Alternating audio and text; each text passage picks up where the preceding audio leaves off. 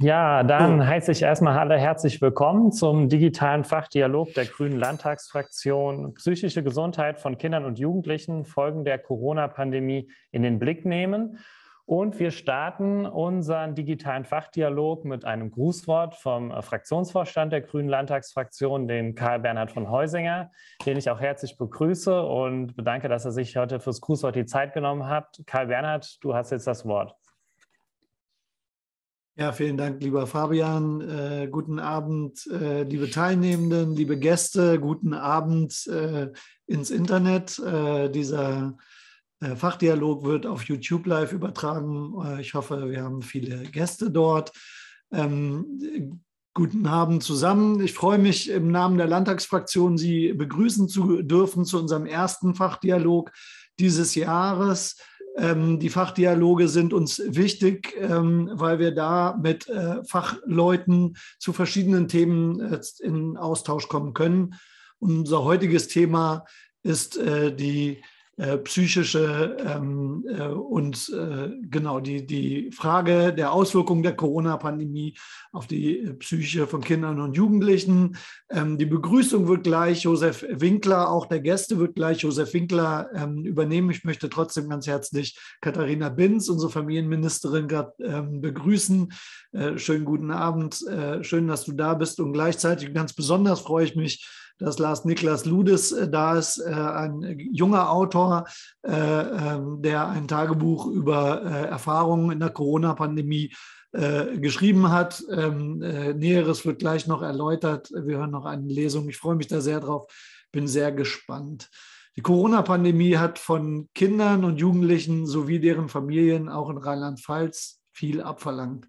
Quarantäne für Grundschulkinder, gestrichene Ausflüge der Kitagruppen, Abi schreiben mit Maske. Die leider notwendigen Maßnahmen sind für unsere Kleinsten und Schwächsten der Gesellschaft eine Zumutung. Heute wissen wir, dass sich die Corona-bedingten Einschränkungen massiv auf die, auf die kognitive, psychische, motorische und soziale Entwicklung von Kindern und Jugendlichen und damit auf deren Familien auswirkt. Die Folgen werden auch dauerhaft noch zu spüren sein. Ich selbst muss sagen, ich habe zwei Kinder, zwei Teenager, die sich ganz unterschiedlich in der Corona-Pandemie äh, verhalten haben. Aber bei beiden äh, hat das äh, deutlich was gemacht mit denen.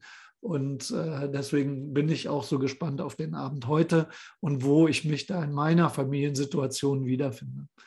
Die Pandemie ist noch nicht zu Ende und besonders für junge Menschen eine Ewigkeit in ihrer Lebensrealität. Wir werden heute einiges über die psychischen und entwicklungstechnischen Aspekte der Auswirkungen auf Kinder und Jugendliche hören. Einiges wurde dazu geforscht. Das Familien- und Jugendministerium hat dazu übrigens bundesweit beispielhaft eine eigene Studie in Auftrag gegeben. Kinder und Jugendliche sind aktuell selbst mit am häufigsten von der Infektion betroffen. Tausende sind positiv getestet oder in Quarantäne und auch wenn der medizinische Erkenntnisse zeigen, dass Kinder und Jugendliche weniger schwer am Virus erkranken, so ist auch immer zu berücksichtigen, dass es auch unter den jüngsten Risikogruppen gibt. Hinzu kommt die Ungewissheit über mögliche Langzeitfolgen. Wir als Grüne Landtagsfraktion geben dem Thema gestärkt aus der Krise Kinder und Jugendliche in den Mittelpunkt einen Schwerpunkt für die kommenden Monate ich erinnere an das Frühjahr 2020, als unsere damalige Familienministerin und heute heutige Bundesfamilienministerin Anne Spiegel als erstes mit durchgesetzt hat, dass die Spielplätze in Rheinland-Pfalz geöffnet werden konnten. In den Sommerferien gab es dann Unterstützung für Freizeitprogramme, ebenfalls auf unsere Initiative hin. Kinder und Jugend und Familie brauchen eine starke Lobby, aktuell mehr denn je. Sie sind bei uns immer im Fokus unserer Politik im Land. Und wir als Grüne Landtagsfraktion werden das Thema umfangreich weiter begleiten und sind gespannt auf die Inputs der Expertinnenbeiträge hier und heute.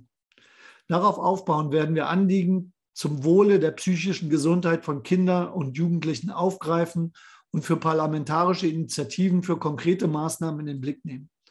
Wir freuen uns über Ihr Interesse an unserer Veranstaltung und freuen uns auch weiterhin mit Ihnen im Dialog zu bleiben. Und jetzt erstmal freuen wir uns auf die Veranstaltung. Vielen Dank an alle Teilnehmer und insbesondere auch an unsere Gäste auf dem virtuellen Podium. Viel Spaß heute Abend. Ja, vielen Dank, Karl Bernhard. Und jetzt darf ich auch schon ans äh, nächste Grußwort äh, übergeben, an das Grußwort von unserem gesundheitspolitischen Sprecher aus der Grünen Landtagsfraktion, dem Josef Winkler. Josef, du hast jetzt das Wort. Ja, vielen Dank, Fabian. Ähm, die, ich will ein paar Fakten noch vorstellen aus den Koalitionsverträgen von äh, Land und Bund. Ähm, wir sind ja in beiden äh, zu Beginn der Wahlperiode und äh, auch auf eine Studie hinweisen, äh, die, die äh, glaube ich, ganz interessant ist. Wir haben uns in der Landtagsfraktion äh, auch in der vergangenen Legislaturperiode mit diesem Thema befasst. Da war ich noch nicht Abgeordneter, aber ich bin ja des Lesens mächtig. Und da hatten wir eine ausführliche große Anfrage zum Thema psychische Gesundheit in Rheinland-Pfalz, Bestandsaufnahme und Versorgung gestellt. Und da war ein großer Schwerpunkt auch auf der Versorgung von Kindern und Jugendlichen gelegen. Dazu und auch generell sind wir zu dem Thema in gutem Austausch mit der Landespsychotherapeutenkammer, äh, was sich heute ja wieder bestätigt. Wir haben im Landeskoalitionsvertrag äh, festgehalten, äh, das zitiere ich jetzt, offener Umgang mit psychischen Erkrankungen. Wir werben für einen offenen Umgang mit psychischen Erkrankungen. Wir werden einen ressortübergreifenden Aktionsplan seelische Gesundheit erarbeiten. Ziel ist es, Unterstützungsangebote sichtbar zu machen und zu einer Enttabuisierung des Themas in der Gesellschaft beizutragen. Wir wollen durch gezielte Aufklärungsarbeit und bessere Integration von chronisch psychisch Erkrankten die Stigmatisierung psychischer Erkrankungen durchbrechen. Psychisch erkrankte Menschen müssen schneller psychiatrische oder psychotherapeutische Behandlung bekommen. Dafür wollen wir die Versorgungsstruktur insbesondere für Kinder, Jugendliche und junge Erwachsene weiter verbessern. Bleibt anzumerken, das Zitat endet hier. Leider haben wir auf Landesebene nur bedingt Einfluss auf die Bedarfsplanung in der Psychotherapie. Viele Rahmenbedingungen werden ja hier auf der Bundesebene gesetzt. Und die grünen Kolleginnen im Bundestag haben vieles an der Politik der vorherigen Bundesregierung kritisiert, was uns äh, dazu bringt, dass wir guter Hoffnung sind, dass sich hier mit der neuen Bundesregierung einiges ändern wird. Im Koalitionsvertrag der Bundesampel wurde dazu Folgendes festgehalten. Zitiere, wir starten eine bundesweite Aufklärungskampagne zur Entstigmatisierung psychischer Erkrankungen. Wir reformieren die psychotherapeutische Bedarfsplanung, um Wartezeiten auf einen Behandlungsplatz, insbesondere für Kinder und Jugendliche, aber auch in ländlichen und strukturschwachen Gebieten deutlich zu reduzieren. Wir verbessern die ambulante psychotherapeutische Versorgung, insbesondere für Patienten mit schweren und komplexen Erkrankungen und stellen den Zugang zu ambulanten Komplexleistungen sicher. Die Kapazitäten bauen wir bedarfsgerecht, passgenau und stärker koordiniert aus. Im stationären Bereich sorgen wir für eine leitliniengerechte psychotherapeutische Versorgung und eine bedarfsgerechte Personalausstattung. Die psychiatrische Notfall- und Krisenversorgung bauen wir flächendeckend aus. Da endet das Zitat. Aktuelle Studien zeigen uns, dass gerade durch die Auswirkungen der Corona-Pandemie die psychischen Belastungen von Kindern und Jugendlichen zugenommen haben. Unter anderem hat das Robert Koch Institut in einem Review die ersten Erkenntnisse verschiedener Studien und Befragungen zusammengetragen. Die sogenannte COPSI-Studie der Universitätsklinik Hamburg-Eppendorf gibt unter anderem erste wichtige Hinweise bezüglich der Auswirkungen der Pandemie auf die Gesundheit von Kindern und Jugendlichen, die ja auch Herr von Heusiger eben angesprochen hat. Die Online-Befragung erstreckte sich über zwei Erhebungszeitpunkte. Die erste Befragung war im Mai, Juni 2020 und die Folgebefragung im Dezember 2020, Januar 2021. Mehr als 1000 11- bis 17-jährige Kinder und Jugendliche sowie 1500 Eltern von 7- bis 17-Jährigen nahmen teil. Schwerpunktthema war die subjektive Wahrnehmung der psychischen Gesundheit der Kinder und Jugendlichen nach knapp einem Jahr mit der Pandemie.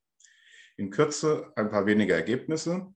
85 Prozent der befragten Kinder und Jugendlichen fühlen sich durch die Bedingungen der Pandemie belastet. Bei der ersten Befragung waren es noch 71 Prozent. Über 70 Prozent geben eine geminderte Lebensqualität an, bedeutet weniger Energie, fühlen sich weniger fit und wohl, schlechtere Konzentrationsmöglichkeit. Die allgemeine psychische Belastung sei gestiegen. Knapp jeder dritte Fragte zeigt heute Anzeichen einer psychischen Belastung auf.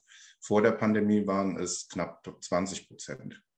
Jüngere Kinder bis sieben Jahre sind etwas stärker betroffen als ältere Kinder und Jugendliche. In dieser Befragung, die Kinder und Jugendlichen geben eine Zunahme von spezifischen Belastungen wie Sorgen und Ängste, Zukunftsängste, allgemeine Ängstlichkeit und Unsicherheit, Versagensängste, Befürchtungen, die Freundschaften betreffen an. Auch psychosomatische Beschwerden, 30 Prozent Bauchschmerzen, über 40 Prozent Kopfschmerzen, über 40 Prozent Niedergeschlagenheit haben sich nach den Angaben der Kinder und Jugendlichen über den Erhebungszeitraum, den ich genannt habe, fast verdoppelt. Und zu guter Letzt eine Online-Befragung im Auftrag des hiesigen Familienministeriums, an, dem, an der rund 5500 junge Menschen von Mitte März bis Mitte April 2021 teilgenommen haben, bestätigt die Befunde unter anderem in Bezug auf Sorgen mit Blick auf die Zukunft, welche Unsicherheiten bezüglich der Bildungschancen oder auch welche Unsicherheiten bezüglich der Bildungschancen oder auch Berufs- und Karrierechancen auslösen und damit psychische Belastungen verstärken. Ja, Sie sehen, das äh, ist ein weites äh, Feld und es wird schon einiges geforscht, aber wir leiten jetzt quasi in die Praxis über und das macht der Fabian, indem er unsere Gäste, die ich auch herzlich begrüße, äh, vorstellt.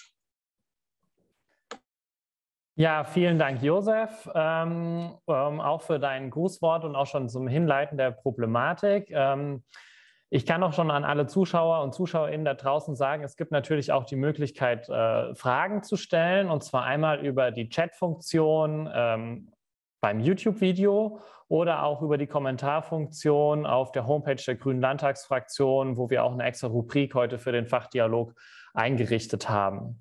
Jetzt komme ich aber zu unseren Gästen, die wir heute begrüßen dürfen bei uns und möchte die auch vorstellen natürlich. Und als allererstes begrüße ich ganz herzlich unsere Familienministerin Katharina Binz. Sie ist jetzt stellvertretende Ministerpräsidentin in Rheinland-Pfalz, war von 2017 äh, bis 2021 auch grüne Landtagsabgeordnete und ist jetzt seit März letzten Jahres ähm, Familienministerin, nein, seit Mai letzten Jahres Familienministerin in Rheinland-Pfalz und holte bei der letzten Landtagswahl auch das erste grüne Direktmandat in Rheinland-Pfalz. Auf ihrer Homepage steht, ich lebe mit meinem Mann und unserer Tochter in der Mainzer Neustadt mit allen Freuden und Problemen, die das Familienleben zweier berufstätiger Eltern so mit sich bringt. Das heißt, Katharina kann auch aus der Praxis des Familienlebens ähm, berichten.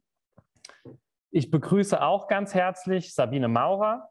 Sie ist die Präsidentin der Landespsychotherapeutenkammer in Rheinland-Pfalz seit 2018 und war davor auch schon im Vorstand der Landespsychotherapeutenkammer. Und sie ist niedergelassene psychologische Psychotherapeutin mit den Zusatzqualifikationen Kinder- und Jugendpsychotherapie. Sie ist auch noch Landesvorsitzende Rheinland, in Rheinland-Pfalz der Deutschen Psychotherapeutenvereinigung. Und wir sind als Grüne Landtagsfraktion auch mit ihr immer im regen Austausch nicht erst jetzt, seitdem wir uns äh, verstärkt mit dem Thema Kinder und Jugend in der Corona-Krise beschäftigen. Ich begrüße darüber hinaus ganz herzlich äh, Lars Ludes. Ähm, er, Lars Ludes, hat ähm, während der Corona-Pandemie im ersten Lockdown 2020 das Abitur am Friedrich-Spee-Gymnasium in Trier absolviert und währenddessen seine Erlebnisse, die er auch im Lockdown gemacht hat, in einem Roman verschriftlicht. Das Buch heißt Verdürrt, Tagebuch eines Jugendlichen 2020. Und mit diesem Buch verarbeitet Lars seine Erlebnisse und aber auch seine ähm, mit, von sich und seinen Freunden. Und das große Thema des Buches ist auch die Einsamkeit in der Pandemie durch die Lockdowns. Lars sagt, das Wasser ist damals der Jugend entzogen worden, es herrscht Angst und es gibt nicht mehr wirklich das, was man Jugend nennt. Das hat nicht mehr wirklich gelebt. Unser letzter Gast ähm, ist Fred Konrad. Er ist Arzt für Kinder- und Jugendmedizin in Kusel mit einer eigenen Praxis seit 2004, aber auch Facharzt im Sozialpädiatrischen Zentrum der Reha Westpfalz, Ökumenisches Gemeinschaftswerk Pfalz. La, ähm, Fred Konrad war auch von 2011 bis 2016 grüner Landtagsabgeordneter im Landtag von Rheinland-Pfalz und damals Vorsitzender des Ausschusses für Integration, Familie, Kinder und Jugend. Und er war Sprecher für Soziales, Gesundheit, Pflege, Inklusion, Leben im Alter, Demografie und Kirchenpolitik. Genau, das sind unsere Gäste, die wir heute Abend begrüßen. Und wir fangen jetzt auch schon direkt mit der Vorstellung an und mit einem Eingangsstatement ähm, von Sabine Maurer, ähm, Präsidentin der Landespsychotherapeutenkammer, die uns auch dazu eine eigene Präsentation mitgebracht hat, um auch mal auf die Thematik und die Problematik hinzuwirken. Sabine, du hast jetzt das Wort. Ja, vielen Dank und äh, guten Abend an alle. Ich freue mich über das Interesse. Ich gebe mal die Präsentation parallel frei, damit ich direkt starten kann. Könnte ich kurzes Feedback haben, ob sie zu sehen ist? Alles klar. Ähm, ich bin ja schon vorgestellt worden und würde deshalb auch mitten reingehen. Ähm, das ist eine Aufnahme von Twitter, weil die das sehr schön zusammenfasst, finde ich, was die psychische Gesundheit angeht nämlich dass die Diskussion um einzelne Maßnahmen, zum Beispiel Schulschließungen versus keine Schulschließungen, einfach der Komplexität der Sache überhaupt nicht gerecht wird, sondern der Mittelteil ist entscheidend, was Sie hier sehen. Die Kinder und Jugendlichen leiden deshalb, weil sie eine Pandemie durchleiden müssen und mit und unter all dem leiden, was diese Pandemie insgesamt mit sich bringt.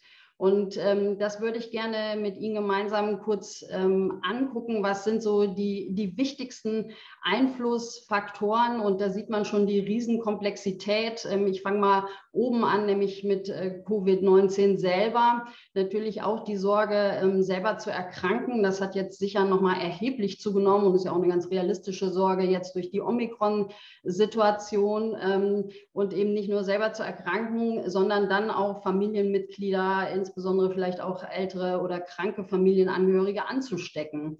Ähm, es gibt Kinder und Jugendliche, die Todesfälle in der Familie wegen Corona erleben mussten. Man kann natürlich sowieso Krankheitsängste haben und natürlich ist auch die Frage, was ist eigentlich mit Long-Covid? Wir haben noch keine richtig gute Datenlage dazu, ähm, aber es kann eben auch nicht ausgeschlossen werden. Also das ist sozusagen der einfach mal kurz zusammengefasst, äh, was die Erkrankung selber mit sich bringt. Ähm, dann natürlich die, die Einschränkungen. Ähm, an erster Stelle sicher auch ähm, das, was der Schulausfall oder die eingeschränkte Beschulung mit sich gebracht hat, auch die für die meisten Familien vollkommen neue Situation des Homeschoolings, auf die ja auch keiner vorbereitet war. Ähm, viele Jugendlichen haben da beklagt, dass äh, es ihnen unheimlich schwer gefallen ist, selber eine Tagesstruktur natürlich hinzukriegen, ähm, die schulischen Sachen zu strukturieren. Ähm, aber was ganz eine ganz wesentliche Belastung ist, übrigens auch verbunden mit dem Schulausfall, ist natürlich einfach, dass man seine Freundin nicht mehr sehen konnte. Also man sollte an der Stelle vielleicht auch ähm, das, Schul das Lernen in der Schule nicht überschätzen, sondern wirklich auch die sozialen Aspekte, die Schule mit sich bringt. Ähm, und eine zweite, ja nun auch schon sehr lang andauernde Einschränkung ist nämlich die, dass viele Freizeitaktivitäten für Jugendliche nicht stattfinden konnten oder nur sehr eingeschränkt. Und das ist in dem Alter eben ähm, noch deutlich wichtiger als im Grunde für uns Erwachsene. Da auch später nochmal äh, drauf ein. Und die familiären Situation ist eben äh, mit betroffen, äh, die Familien als solche. Auch das würde ich gleich nochmal etwas ausführen. Ja, und als dritten Punkt haben wir eben eine ganz neue und jetzt schon sehr lang andauernde gesellschaftliche Situation. Ähm, auf einmal äh, sind wir alle sehr stark betroffen mit Dingen wie Gesundheitspolitik oder auch Schulpolitik. Ähm, und ich erlebe von den Jugendlichen sehr häufig die Rückmeldung, dass die das natürlich äh, durchaus genau verfolgen, was da passiert und was auch schulpolitisch mit ihnen passiert. Ähm, das große Thema, sind die Hygienekonzepte an den Schulen ausreichend oder nicht? Auch das ist sehr heterogen und wird von Jugendlichen sehr genau verfolgt. Ähm, wie hat zum Beispiel auch die digitale Beschulung geklappt? Auch hier sehr heterogene Erfahrungen. Und ähm, ein Punkt, der auch immer wieder eine Rolle spielt, ist, wir sind auf einmal alle konfrontiert mit einer gewissen Anzahl von Menschen, die eben Corona leugnen oder verschwörungstheoretisch unterwegs sind. Und das spiegelt sich eben teilweise in den Familien wieder. Also wo wir Jugendliche haben, wo ein Elternteil beispielsweise sagt, das ist alles übertrieben, das gibt es nicht, ich lasse mich nicht impfen. Und das ist äh, eine Belastung für Jugendliche, die man nicht unterschätzen sollte. Und der vierte wichtige Aspekt, äh, der, glaube ich, auch für uns alle gilt, ist einfach diese unglaubliche Dauer dieser Pandemie. Also viele einzelne Dinge, die ich hier aufgezählt habe, würde man psychologisch ganz gut aushalten können, wenn es zeitlich beschränkt wäre. Ähm, aber wir sind jetzt zwei Jahre damit befasst und ähm, es ist nicht so recht ein Ende in Sicht. Und das macht einfach äh, müde und es macht erschöpft und manchmal auch wütend will kurz noch mal ähm, darauf eingehen, äh, was auch die familiären Auswirkungen sind. Ja, äh, denn je besser es einer Familie geht, desto besser geht es in der Regel auch ihren Kindern. Also hier haben wir einen direkten Zusammenhang. Und ähm, es gibt Eltern, die erhebliche wirtschaftliche ähm, Probleme haben durch die Pandemie. Es ist natürlich ein Betreuungsproblem sofort da gewesen oder kommt jetzt auch wieder verstärkt, weil eben Beschulung und Kindergarten nicht mehr so funktionieren im Moment. Ähm, auf einmal hockt man zu Hause, ähm, alle zusammen, vielleicht auch den ganzen Tag also das ist schon eine erhebliche Gesamtbelastung für Familien. Und ich möchte kurz noch auf eine Sache eingehen, die Sie unten links sehen, was nämlich die Jugendlichen angeht. Ähm, es ist ja nicht nur so ähm, Hobbys wie Sport oder Musik machen, sondern es geht auch darum, natürlich die soziale Entwicklung, die im Jugendalter stattfindet. Und da geht es eben darum, auch Beziehungen einzugehen, da geht es darum, Sexualität zu entdecken, sich von den Eltern zu lösen. Und der Zeitraum für diese super wichtigen Entwicklungsschritte ist eben nicht beliebig, sondern der ist eben mit 16, 17, 18, 19, ähm, sodass die Belastung für Jugendliche sehr viel größer ist als für uns Erwachsene, wenn man sagt, wir können mal nicht auf Partys oder auf Veranstaltungen gehen. Und entsprechend, ich habe hier versucht, eine Zusammenfassung der empirischen Befunde zu machen. Josef Winkler hat eben schon die COPSI-Studie angesprochen. Ähm, die Studienlage ist immer noch nicht so super gut, aber wir haben mal so die wichtigsten Sachen zusammengefasst, äh, die auch einigermaßen verlässlich darstellbar sind. Ähm, nämlich, dass wir eine ähm, deutlich erhöhte psychische Belastung bei sehr vielen Jugendlichen geschildert bekommen. Ich habe schon gesagt, äh, Nummer eins Punkt für viele die reduzierten Sozialkontakte. Lars hat eben schon gesagt, die Einsamkeit, äh, die eben viele schildern, das ist auch was, was wir sehr oft hören. Reduzierung der Hobbys, ähm, positive Aktivitäten, dann die schulischen Belastungen, mehr Stress in den Familien und eben eine Belastung durch mögliche Krankheits- und Todesfälle in den Familien. Ähm, das ist der große Teil der Jugendlichen und dann gibt es eine Untergruppe äh, und da kommen wir jetzt mehr so in den, in den psychotherapeutischen Bereich auch, wo wir tatsächlich eine Zunahme von psychischen Erkrankungen sehen bei Kindern und Jugendlichen und zwar insbesondere von Angsterkrankungen, von depressiven Störungen und von Verhaltensproblemen bei jüngeren Kindern. Es wird teilweise auch aus dem stationären Bereich äh, gemeldet eine Zunahme von Essstörungen. Und ähm, wir merken das auch deshalb in den Praxen. Also ich bin gerade auch in meiner Praxis hier äh, durch eine deutlich erhöhte Nachfrage nach ähm, Psychotherapie. Wir haben vor der Pandemie schon ein Problem gehabt mit relativ langen Wartezeiten.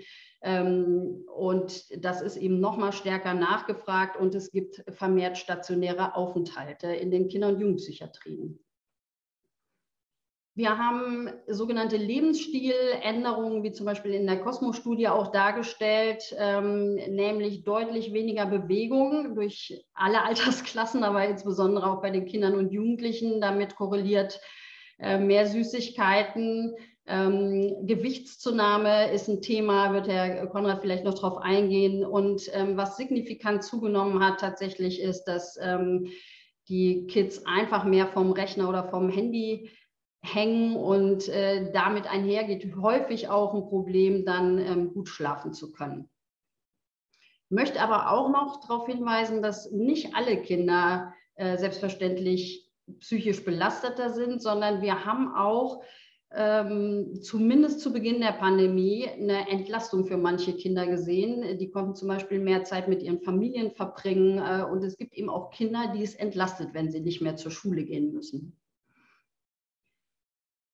Das Fazit ist, dass wir ähm, viele Belastungsfaktoren haben, ähm, dass das aber im Grunde unglaublich heterogen ist. Für wen ist was genau belastend und wie können einzelne Kinder und Jugendlichen damit umgehen? Und das macht auch die, ich sag mal, die, das politische Management dieser Pandemie sicher zu so einer großen Herausforderung, diese riesen Heterogenität.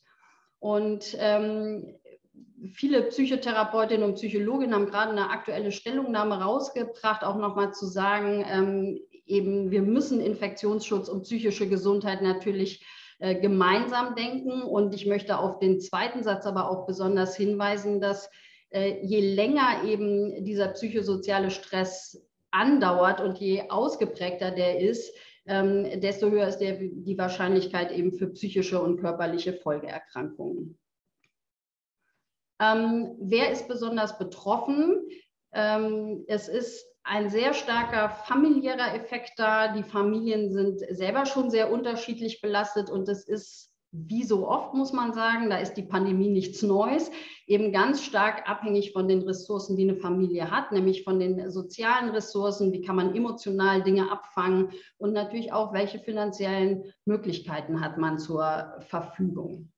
Sehr heterogen ist auch ähm, die Belastung der Eltern. Es gibt sehr verunsicherte und ängstliche Eltern. Ähm, es gibt Eltern, die das ganz anders sehen. Auch das ist sehr, sehr heterogen. Und ähm, besonders schwer haben es wieder die Menschen und Familien mit geringen Ressourcen. An allererster Stelle die Kinder aus armen Familien. Es ist schon mehrfach jetzt genannt worden, diese wirklich tolle Studie des Familienministeriums und was Sie hier sehen, ist die, die roten Balken. Das sind die, die Kinder, die sagen, meine Familie hat nie genug Geld zum Leben. Also wo wir sagen, ähm, arme Familien. Und Sie sehen, dass äh, diese Sorgen, also äh, Ausbildungsplatz zu verlieren, finanzielle Schwierigkeiten noch mehr zu bekommen, ähm, Ein, äh, Einschränkungen des Lebens, dass das alles besonders hoch ausgeprägt ist äh, bei den Kindern, die in armen Familien aufwachsen. Und ähm, auch das ist ja häufig äh, korreliert eben mit zum Beispiel beengte Wohnverhältnisse, ähm, übrigens auch unzureichende technische Ausstattung, was Online-Schooling angeht. Äh, Kinder mit, aus Familien mit Migrationshintergrund sind häufig stärker betroffen. Und dann natürlich unabhängig jetzt von diesen ähm, Kriterien eben Kinder aus Familien, wo sowieso schon viele Konflikte und Probleme sind. Wir haben eine Zunahme von Anfragen in der Jugendhilfe. Wir haben ähm, eine Zunahme von Anfragen bei Beratungsstellen und ähm, Telefonen, Hotlines, äh, die auf erhöhte familiäre Gewalt hinweisen. Dann haben die Familien es schwerer, wo die Kinder eine körperliche Grunderkrankung bereits haben und damit auch einfach ähm, Covid gefährlicher sein kann oder auch Kinder mit ADHS oder Autismus ähm, typischen Symptomen. Und wir sehen in den Praxen auch ganz deutlich, dass die Kinder, die schon psychisch vor Corona belastet waren, es jetzt einfach doppelt schwer haben. Ähm, auch unsere Therapien sind teilweise eingeschränkt, ähm, weil wir bestimmte Interventionen so gar nicht durchführen können. Ähm, es ist auch die psychosoziale Entwicklung oder äh, Förderung schwierig. Es können beispielsweise keine Praktika gemacht äh, werden. Also die ganze Phase der Berufsfindung ist deutlich eingeschränkt bei den Jugendlichen. Ja, und als letzte Folie, ähm, was sehen wir auf der Versorgungsseite, was aus unserer psychotherapeutischer Sicht äh, wichtig wäre? Ähm, die ersten Punkte habe ich schon äh, genannt. Das zielt eher auch so auf die schulische Situation ab. Ähm, wir brauchen tatsächlich einen Ausbau der psychotherapeutischen Versorgung. Josef Winkler hat schon gesagt, was in den äh, Koalitionsplänen steht, was wir natürlich sehr begrüßen und hoffen, dass das zeitnah auch umgesetzt werden kann.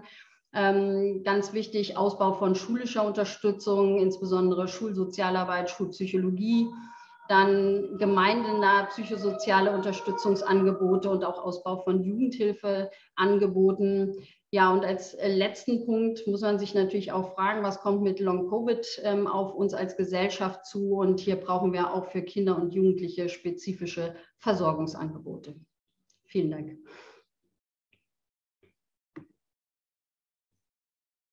Ja, vielen herzlichen Dank, Frau Mauer, für Ihren äh, sehr wertvollen Input und auch die wirklich fundierte Präsentation.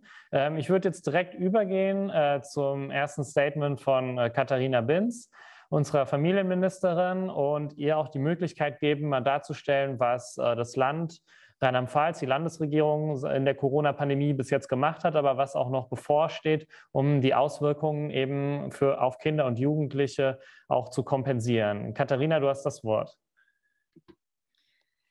Ja, vielen Dank, äh, lieber Fabian, auch von mir ein äh, Hallo in die Runde. Ich freue mich wirklich, dass ich hier heute Abend dabei sein darf und dass auch so eine ähm, gut zusammengesetzte Runde diskutiert äh, mit unterschiedlichen Perspektiven, die eingebracht ähm, werden. Und äh, ich finde, das war jetzt eben schon ein sehr guter und strukturierter Auftakt ins Thema von der Frau Mauer. Ähm, ja, ich, ich werde natürlich jetzt mich vor allen Dingen auf das beschränken, was ähm, äh, unser Ministerium geleistet hat in den letzten zwei Jahren. Ich glaube, wenn ich jetzt alle äh, die gesamte Corona-Politik der Landesregierung darstellen würde, dann ähm, würden wir ein bisschen lang hier sitzen. Ähm, deswegen will ich einfach mal versuchen, so ein paar Schlaglichter darauf zu legen, welchen Kurs äh, wir auch gefahren sind in den letzten zwei Jahren. Es ist ja auch in den Eröffnungsworten schon einiges dazu gesagt worden, was auch äh, meine Vorgängerin, die Anne Spiegel, ähm, angestoßen hat und äh, was auch umgesetzt worden ist. Unsere Jugendbefragung ist eben auch schon angesprochen worden, aber dazu eben mehr.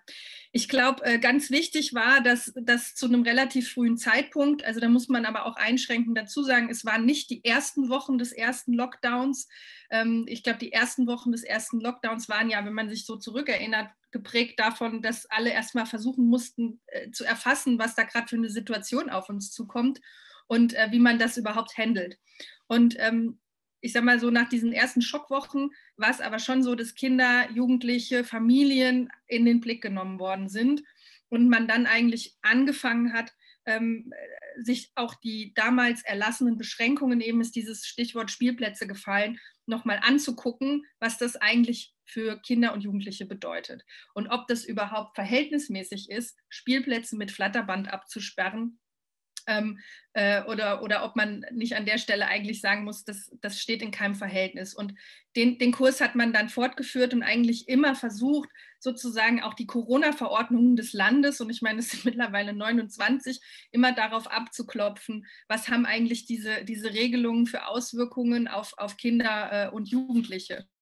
Es wurde natürlich dann äh, besonders äh, spannend, als äh, wir dann in, im letzten Jahr auch in die Situation kamen, dass immer größere Teile der Bevölkerung geimpft worden sind wir aber gleichzeitig noch keinen zugelassenen Impfstoff hatten für Jugendliche, für Kinder. Das ist ja dann alles erst im Nachhinein gekommen, um dann zu schauen, okay, es muss einfach vom Grundsatz klar sein, und es war in Rheinland-Pfalz auch immer klar, ähm, äh, solange Kinder und Jugendliche nicht geimpft werden können, können sie daraus auch keinen Nachteil haben. Also im Prinzip zu sagen, Corona-Verordnungen müssen immer so geschrieben sein, dass es Ausnahmeregelungen gibt für Kinder und Jugendliche. Und im äh, Nachgang sogar muss man auch sagen, ich finde, es gibt viel zu kritisieren an der STIKO, aber eine äh, Feststellung, äh, die sie getroffen hat, äh, die finde ich sehr richtig, nämlich die war, dass man für ähm, äh, Kinder und Jugendliche eine Impfung nicht zur ähm, Vorbedingung für die Teilhabe am gesellschaftlichen Leben machen kann.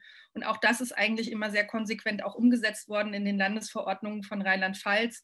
Ähm, und das äh, wird auch ähm, weiterhin ähm, so gemacht werden. Und dann war natürlich auch immer zu schauen, dass wir die Corona-Verordnungen so stricken, dass ähm, Angebote, und jetzt bin ich ja, wir sind ja vor allen Dingen für die außerschulischen Angebote äh, zuständig, für Kinder und Jugendliche auch möglich sind und auch praktikabel ermöglichbar sind. Ähm, das ist ja bis heute leider ein bisschen ein Problem, dass nach wie vor in vielen Bereichen auch so ein Gefühl vorherrscht, ähm, die, die, die, Sachen werden nach wie vor alle geschlossen oder müssten alle geschlossen sein.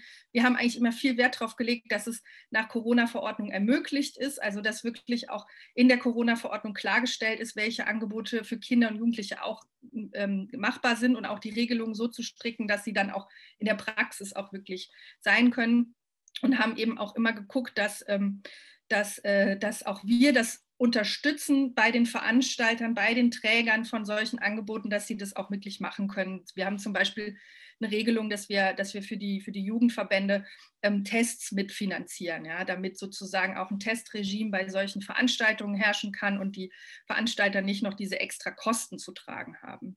Also das ist sozusagen auch dann das nächste, was wir versucht haben, der große Strang, das ist wirklich zu versuchen, Angebote zu machen. Also wirklich so viel auf die Beine zu stellen oder zu fördern und zu unterstützen, dass wirklich auch Sachen dann stattfinden, an denen äh, Kinder und Jugendliche auch teilnehmen können. Da ist natürlich ganz viel passiert über das äh, Programm der Bundesregierung, Aufholen nach Corona, was ja einen Strang hat im, im Bildungsbereich, also im Schulbereich und einen Strang dann auch im außerschulischen Bereich. Ähm, da haben wir eben immer geguckt, dass wir das Geld, was wir da vom Bund Gott sei Dank zur Verfügung gestellt bekommen haben, auch in die Bahnen lenken, dass diese Angebote dann auch wirklich ähm, stattfinden können. Wir haben eben geschaut, dass wir die Förderung verbessern des Landes für Jugendfreizeiten, für Ferienprogramme, für Zeltlager und so weiter und so fort. Und gleichzeitig haben wir auch, aber das ist ein etabliertes Programm in Rheinland-Pfalz, das gibt es schon lange, ähm, die Familienerholung. Also dass wir wirklich Familien mit, äh, die wirklich geringes Einkommen haben, einen sehr, sehr großzügigen Zuschuss geben zu einer Familienerholung, also eine Art Urlaub, sage ich jetzt mal, in ähm, Familienferienstätten, in Jugendherbergen. Und dieses Programm haben wir natürlich dann auch nochmal erweitert, damit äh, auch an der Stelle nochmal besonders viele ähm, Familien davon profitieren können. Ähm, ich habe es eben schon angetextet. Der dritte Strang ist wirklich die Strukturen zu unterstützen, damit die uns auch, weil die natürlich pandemiebedingt auch betroffen äh, sind. Also das ist eben auch was, was ganz früh in der Pandemie passiert worden ist. Passiert ist die äh, bestehenden Strukturen, die vor allen Dingen ja auch freie Träger sind, auch abzusichern, finanziell auch in der Pandemie abzusichern, finanziell auch da nochmal zusätzliche äh, Förderungen reinzugeben, beispielsweise ein Digitalisierungsprogramm, sodass einfach Jugendeinrichtungen auch äh, sich auf digitale Angebote hm, ähm, konzentrieren konnten und die auch anbieten konnten, was natürlich kein Ersatz ist ja für das, was, was, was äh, außerhalb der Pandemie stattfindet, aber natürlich trotzdem ein ganz, ganz wichtiges Angebot ist in Zeiten des Lockdowns, wo ansonsten einfach gar nichts mehr stattfinden kann. Und ähm, auch einfach Anlaufstelle, Ansprechstelle ist. Genau, also diese, diese äh, Strukturen haben wir wirklich äh, da überall, wo es nötig war, stabilisiert, abgesichert und wie gesagt auch die Gelder, die wir bekommen haben, vor allen Dingen aus dem Bundesprogramm da reingelenkt und jetzt nicht gesagt, wir machen jetzt was Tolles Neues als Land, sondern wir bauen auf dem auf, was wir haben und unterstützen diejenigen, die hier schon äh, seit Jahren die Konzepte für Kinder und Jugendliche ähm, haben. Und dazu gehören natürlich auch die ganzen Beratungsstellen und da kann man auch wirklich an den Zahlen einfach absehen, wie stark die auch in Anspruch genommen worden sind in, in den letzten zwei Jahren und wie, wie, wie gut das auch ist, dass man so eine Infrastruktur an Beratungsstellen hat, die vielleicht, ich sage jetzt mal in normalen Zeiten außerhalb einer Pandemie, bestimmte Gruppen gar nicht in Anspruch nehmen, ja, aber in so einer Pandemie ist dann sozusagen der Zulauf viel, viel, viel größer. Also äh, vielleicht nur mal eine Zahl aus dem Bereich. Im Jahr 2020 haben die 60 rheinland-pfälzischen Beratungsstellen, die wir da haben, rund 22.000 Erziehungs- und Familienberatungen durchgeführt. Also zeigt einfach mal, wie groß da der Bedarf ist. Und ähm, der gleiche, der, die gleichen Zahlen kennen wir auch von den Beratungstelefonen, also zum Beispiel die Nummer gegen Kummer, die ja ähm, sehr bekannt ist. Auch da hat sich, ähm, ist einfach das Anrufaufkommen während vor allen Dingen natürlich während der Lockdowns, aber halt in der gesamten Pandemiezeit natürlich massiv massiv ähm, äh, gesteigert. Und der dritte Strang, und das ist auch ein bisschen das, was so auch vor allen Dingen in die Zukunft weisen soll, ja, das ist wirklich reinhören, ähm, Beteiligung ermöglichen, äh, Debatte ermöglichen, Diskurs äh, ermöglichen. Ähm, ich sage mal, ich bin, also ich bin seit, seit Mai 2021 äh, Ministerin ähm, ich verantworte natürlich auch die Dinge, die vorher passiert sind, aber die Sachen sind, sind passiert, wie sie passiert sind.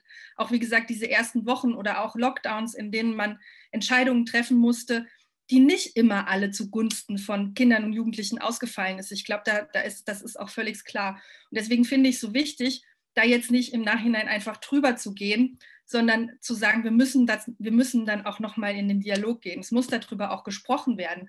Und auch wenn man die Sachen jetzt nachträglich nicht mehr ändern kann, es ist wichtig, Kindern und Jugendlichen auch das Gefühl zu geben, dass sie gehört werden mit dem, mit dem was, was, was sozusagen für sie in dieser Pandemiezeit war. Und ähm, aus dem Grund ist ja eben auch die Jugendbefragung in Auftrag gegeben worden, die im März, April 21 ähm, durchgeführt worden ist, also auch mitten in einer Lockdown-Phase. Das war ja der längste Lockdown, den wir hatten. Und ähm, die Ergebnisse äh, sind natürlich was, was wir jetzt auch ja, immer wieder auch mit einbeziehen in, in die nächsten Schritte, die wir in den nächsten Jahren gehen. Ähm, auch da nochmal, weil das finde ich, ähm, wird immer so vorausgesetzt, aber ich finde, man muss es immer nochmal betonen. Auch die Befragung hat uns das ganz eindeutig gezeigt die Jugendlichen ähm, haben mitgezogen bei der Pandemiebekämpfung oder ziehen nach wie vor mit. Also ich finde, das muss man immer wieder nochmal betonen, welche große Solidarität da einfach an den Tag gelegt worden ist. Das zeigen uns auch die Ergebnisse dieser Befragung ganz, ganz eindeutig. Und ähm, es zeigt eben auch, und das ist ja eben auch gesagt worden von Frau Mauer, dass es ein sehr differenziertes Bild der Belastungen gibt. Also zum einen je nachdem, welchen Background die Jugendlichen mitbringen, aber auch in welcher Situation sie sich belastet fühlen. Ähm, die einen mal mehr, mal weniger durch den Schulausfall oder ähm, äh, durch, durch ja, Einschränkungen im Freizeitverhalten.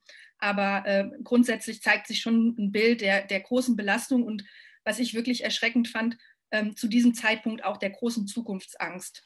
Und ähm, das bezieht sich eben auch nicht nur auf ähm, dieses, ja, ähm, dieses äh, Leben als Jugendlicher, also wirklich auf Partys gehen, sich ausprobieren, äh, sich von zu Hause abnabeln, sondern wirklich eine große Zukunftsangst auch Richtung Ausbildung, Studium. Was wird mal aus mir? Ähm, wie kann ich in, in, so einer, äh, in so einer Phase der Pandemie über, überhaupt den Übertritt aus der Schule in, in die weitere ähm, in die, ins weitere Leben schaffen. Das sind große Themen, die die, die, die Jugendlichen eben belastet haben. Und ähm, ja, in diesem, in diesem Sinne ist natürlich auch die Frage, was, was machen wir jetzt weiter? Ähm, wie gesagt, wir sind nach wie vor in der Pandemiebekämpfung äh, mittendrin. Ähm, wir müssen nach wie vor schauen, dass wir die Rahmenbedingungen eben so gestalten, dass sie halt ähm, möglichst ähm, ja, möglichst gut sind für Kinder und Jugendliche, aber es sind immer schwierige Entscheidungen, es sind immer Abwägungsprozesse, die getroffen werden müssen in der Pandemie. Ähm, ich glaube nach wie vor, dass, wie gesagt, dieses, diese Beteiligung, Partizipation etwas ist, was wir unbedingt mitnehmen müssen, auch aus der Pandemie in die Nachpandemiezeit. Wir müssen stärker als Gesellschaft dazu kommen, äh, Kinder und Jugendliche zu beteiligen, auch an politischen Diskussionen, auch an politischen Entscheidungen. Das ist ein Thema, mit dem wir in den nächsten Jahren uns als Ministerium auch sehr, sehr unter, auseinandersetzen. Und die Grüne Landtagsfraktion ist da ja auch immer sehr, sehr aktiv in dem Bereich. Ähm, wir müssen, wie gesagt, gucken, dass wir jetzt auch wieder im Sommer Angebote schaffen, des Ausgleichs und der Entlastung und Freizeitgestaltung, Begegnung, ähm, ähm, das, das ist sozusagen das Gleiche, was wir im letzten Jahr gemacht haben, müssen wir dieses Jahr auch wieder machen. Und ich erhoffe mir da auch, und die Anne Spiegel hat es ja auch angekündigt, dass, äh, dass da nochmal ein großes Paket auch vom Bund geschnürt wird, dass dieses Aufholen nach Corona-Paket auch nochmal äh, größer gemacht wird und auch vielleicht nochmal verlängert wird, weil ähm, Aufholen nach Corona ist nicht ähm, 22 zu Ende. Also das ist, glaube ich, jetzt schon klar, dass uns das die nächsten Jahre auch beschäftigen wird und wir da einfach auch finanzielle äh, Mittel für brauchen. Ähm, ich glaube auch, dass wir an die Unterstützungsinfrastruktur noch mal ganz stark ran müssen. Also alles, was zum Beispiel Schulsozialarbeit äh, bedeutet, Jugendsozialarbeit. Und ich glaube auch, ähm, auch wenn ich dafür fachlich nicht zuständig bin, aber das Thema psychische Gesundheitsversorgung hat mich auch schon vorher als Abgeordnete immer sehr interessiert. Wir müssen unbedingt endlich an diese, an diese Versorgungsfrage ran. Das ist, das ist jetzt so offenkundig geworden, wie, wie also vorher war es auch schon offenkundig, aber ich glaube, jetzt lässt sich das gar nicht mehr leugnen. Und ich finde eigentlich diesen Vorschlag ganz äh, charmant, jetzt für eine Übergangszeit auch die, ähm, die äh, Psychotherapie äh, zu öffnen für die Kassenabrechnung. Ähm, Genau.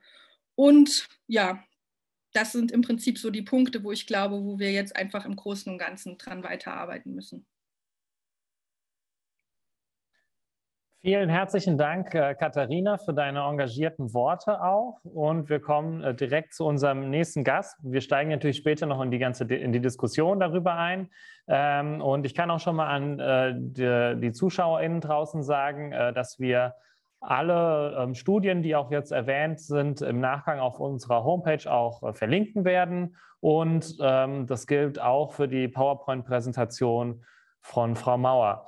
Ähm, jetzt kommen wir zu unserem nächsten Gast, äh, Lars Niklas Ludes. Ähm, ich habe ihn ja schon vorgestellt. Und Lars, meine Frage an dich wäre, dass du noch mal vielleicht ganz kurz einen Blick zurückwirfst, wie es dir während der Zeit im Abi 2020 ging und was dich dann auch motiviert hat, ähm, das Buch zu schreiben. Und du hast uns ja auch ein, eine kleine Passage mitgebracht, die du daraus auch ähm, vorlesen möchtest. Du hast jetzt das Wort.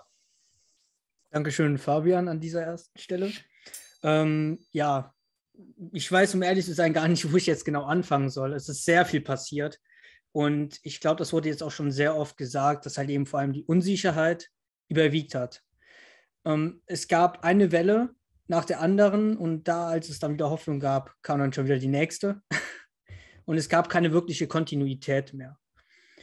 Und das hat sich halt eben auch irgendwie durchgezogen und es war einfach nicht so, sagen wir es mal so, einfach das Ganze jetzt zu machen. Ich kann es jetzt, mir fehlen gerade ein bisschen die Worte dafür. ähm, ja, ich hatte Glück. Ich habe durch eine Schulaufgabe herausgefunden, dass mir das Schreiben ziemlich gut tut. Und dazu kam ich halt eben dazu, ein Buch zu schreiben, in dem ich halt eben meine Gefühle rauslassen konnte und gleichzeitig aber auch die der anderen, also die, die ich mitbekommen habe. Und ja, es war für mich eigentlich schon fast eine Selbsttherapie, um ehrlich zu sein, in der ich halt eben, ja, einfach mal zu Wort kam und das, was man sich nicht traut auszusprechen, auch mal auf ein Papier bringen konnte irgendwie. Ähm, ja, ich würde sagen, ich kann jetzt schon loslegen mit Vorlesen, wenn das in Ordnung ist. Ich weiß nicht, es wurde halt eben schon sehr viel gesagt, was jetzt, glaube ich, sonst nur noch eine Wiederholung wäre, weil ich dem meisten da vollkommen zustimmen kann. Gut. Hilf mir. Heute war wieder Präsenzunterricht in der Schule. Ich sitze in der Klasse und fühle nichts. Mein Kopf ist zerstört und meine Gedanken leer. Überfordert von mir selbst? Ich weiß es nicht. Ist es richtig, so etwas behaupten zu können? Ich fühle mich schwach, verletzlich und biete jedem Angriffsflächen. Ich sehe Leute, die sich unterhalten, glück glücklich gemeinsam lachen und reden. Früher habe ich das auch getan. Doch was ist heute? Ich kann es nicht. Ich sehe zu und bin leer. Es fühlt sich nicht richtig an, hinzugehen und es fühlt sich auch nicht richtig an, sitzen zu bleiben. Ich habe auch ganz und gar kein Thema, worüber ich reden kann. Ich fühle mich wie in Trance und alles zieht irgendwie an mir vorbei. Zwar bin ich konzentriert und nehme den Unterricht wahr, aber mein soziales Leben wird zunehmend kleiner, was erschreckend ist. Ich fühle mich inkompetent und ich weiß dass ich es eigentlich nicht bin. Ich bin manchmal einfach aus dieser Welt geschmissen, da ich das alles nicht mehr richtig beschreiben kann.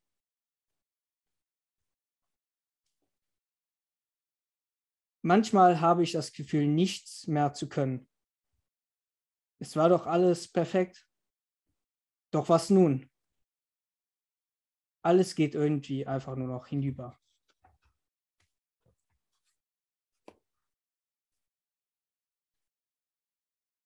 Es kommt mir vor, als wäre dieser in meinem Traum erschienene ganz und gar verdürrte Baum ein Spiegelbild meines Selbst. Wie ein junger Setzling, dem das Lebenselixier über längere Zeit vollkommen entzogen wurde, sodass es ihm nicht mehr möglich ist, zu etwas Größerem heranzuwachsen.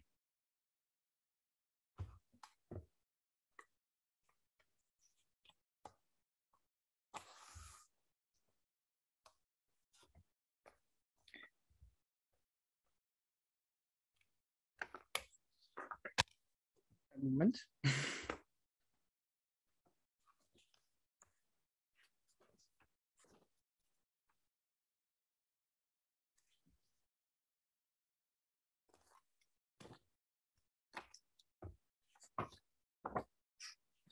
Entschuldigung, ich habe mich gerade ein bisschen verplättert.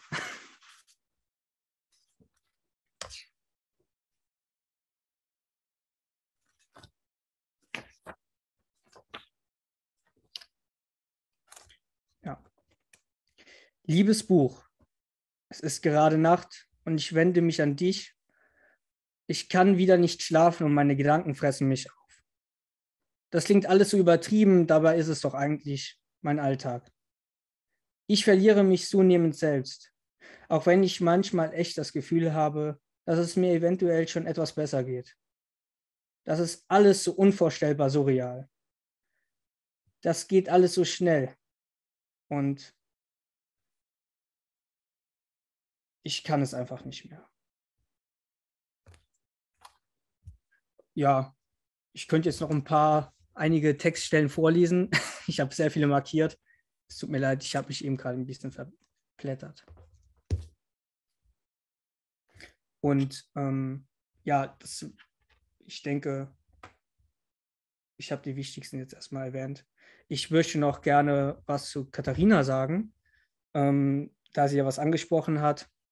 Und ähm, ja, Katharina, es geht nicht darum, der Jugend das Gefühl zu geben, zugehört oder ein Ohrgeschenk zu bekommen, sondern es geht viel eher darum, dass es auch getan wird und dass die Jugend wirklich aktiv sich beteiligen kann und halt eben, dass ihnen wirklich zugehört gehört wird und nicht nur, dass dieses Gefühl existiert. Ähm, ja, das wollte ich noch gerne ergänzen. Dankeschön. Ja, vielen, vielen Dank, Lars, äh, dass du uns äh, auch hier mit deinem Buch ein bisschen auch Kultur und Literatur noch beisteuerst. Und ich glaube, das war auch sehr, ja, sehr authentisch, auch wie du beschrieben hast, wie es dir auch in der Zeit ging und dass du auch quasi das Schreiben gefunden hast, um die Eindrücke, die du auch gesammelt hast oder was auf dich eingeprasselt ist, auch zu verarbeiten. Und über das ganze Thema Jugendbeteiligung und wie wir wirklich der Jugend auch eine starke Stimme geben können und eine wirkliche Beteiligung realisieren können, kommen wir auch noch gleich in der Diskussion. Ich würde jetzt erstmal noch bitten, unseren äh, Gast ähm, Fred Konrad äh, auch in die Diskussion oder in, die, in, in den Fachdialog einzusteigen. Ähm, und er als Kinderarzt beschäftigt sich ja sehr auch mit den Folgen der Pandemie auf die psychosomatische Gesundheit und die Entwicklung auch von jungen Kindern und ähm, den Jüngsten in unserer Gesellschaft und hat sich da auch sicher schon viele Gedanken zugemacht. Fred, du hast jetzt das Wort. Jetzt. Vielen Dank, Fabian. Äh, ihr habt es schon angekündigt, ich äh, habe mich etwas mehr auf die Situation von kleineren Kindern vorbereitet. Ähm, es gibt eine äh, Untersuchung im November erschienen in der kinderärztlichen Praxis, damit ich die Quelle auch genannt habe. Das ist ja heute ganz wichtig und äh, zwar von ähm, Renate Bredal äh, vom Gesundheitsamt der Landeshauptstadt Düsseldorf. Äh, die hat über die Schuleingangsuntersuchungen berichtet und in diesem Zusammenhang über die Situation von Kindern, die aus ähm, Stadtgebieten mit besonderem Entwicklungsbedarf stammten und hat dabei festgestellt, dass im Vergleich zu 2020 die Einschulungskinder im Jahr 2021 äh, signifikante Defizite aufweisen. Ähm, ich kann die Folie, die ich aus der Zeitschrift, ähm, es gab leider keine, keinen Online-Zugang dazu, ähm, die ich aus der Zeitschrift äh, abfotografiert habe, kann ich gern kurz freigeben, dann könnt ihr die Zahlen ein bisschen mitgucken. Ich weiß nicht, ob ihr das jetzt seht die, die verschiedenen Untersuchungsbereiche, die bei der Einschulungsuntersuchung abgebildet werden, äh, betreffen verschiedene Bereiche ähm, der kindlichen Entwicklung in der Vorschule und frühen Schulzeit. Und wir sehen, dass wir bei den Standardwerten, die dort abgeleitet worden sind, äh, hochsignifikante Ergebnisse, das heißt dieser P-Wert kleiner 0,01 haben für alle Entwicklungsbereiche. Wenn ich also Kinder aus vergleichbaren Wohngebieten von 2019 auf 2020 vergleiche, das heißt Einschulungsjahr 2020 und 2021 mit äh, Defiziten um 10 bis 20 Prozent. Am stärksten betroffen sind dabei äh, sprachliche Defizite, Präpositionen, Pluralbildern, ähm, aber auch die Körperkoordination, was ja jetzt auch schon gesagt worden ist, dass die Probleme ähm, Bewegungsmangel sich sehr stark auswirken und auch eine durchschnittliche Gewichtszunahme um ähm, 0,8 äh, Prozent. Das ähm, ist in meinen Augen, äh, spiegelt alles wider, was jetzt schon gesagt worden ist und auch die schlechteren Deutschkenntnisse. Ähm, wie, äh, ich würde den Bildschirm jetzt wieder gerne nicht freigeben und euch gerne wieder richtig sehen. Ähm, kann das jemand für mich jetzt tun? Was jetzt, ich kann jetzt leider nicht sehen, ähm, wie das ist und habe jetzt den Bildschirm hier vor Augen. Eine Sekunde bitte. Aha, da, jetzt geht es wieder. Vielen Dank, wer auch immer das jetzt äh, organisiert hat. Ähm, welche äh, Folgen äh, für die Gesundheit ist jetzt in dieser Lebensphase vor allem zu erwarten? Ähm, ich habe das kurz zusammengestellt. Neben den äh, abgebrochenen Einschulungsuntersuchungen, die dann ein sehr ähm, eingeschränktes Bild der Kindergesundheit im Vorschul- und frühen Schulalter ähm, ähm, nach sich gezogen haben, waren für mich als Kinder- und Jugendarzt vor allem die häufigen Therapieabbrüche äh, sehr bedenklich und haben ihre Folgen hinterlassen. Das heißt, äh, Therapieabbrüche vor allem bei den Heilmitteln ähm, die ich jetzt als Kinder- und Jugendarzt verordne, aber auch im Sozialpädiatrischen Zentrum in den Bereichen Logopädie, also Sprachtherapie, in dem Bereich äh, Physiotherapie, also Krankengymnastik und Bewegungsförderung, im Bereich Ergotherapie, Feinmotorikförderung, Wahrnehmungsförderung, äh, Konzentrations- und Aufmerksamkeitsförderung und auch die Heilpädagogik, die über die Frühförderstellen angeboten wird.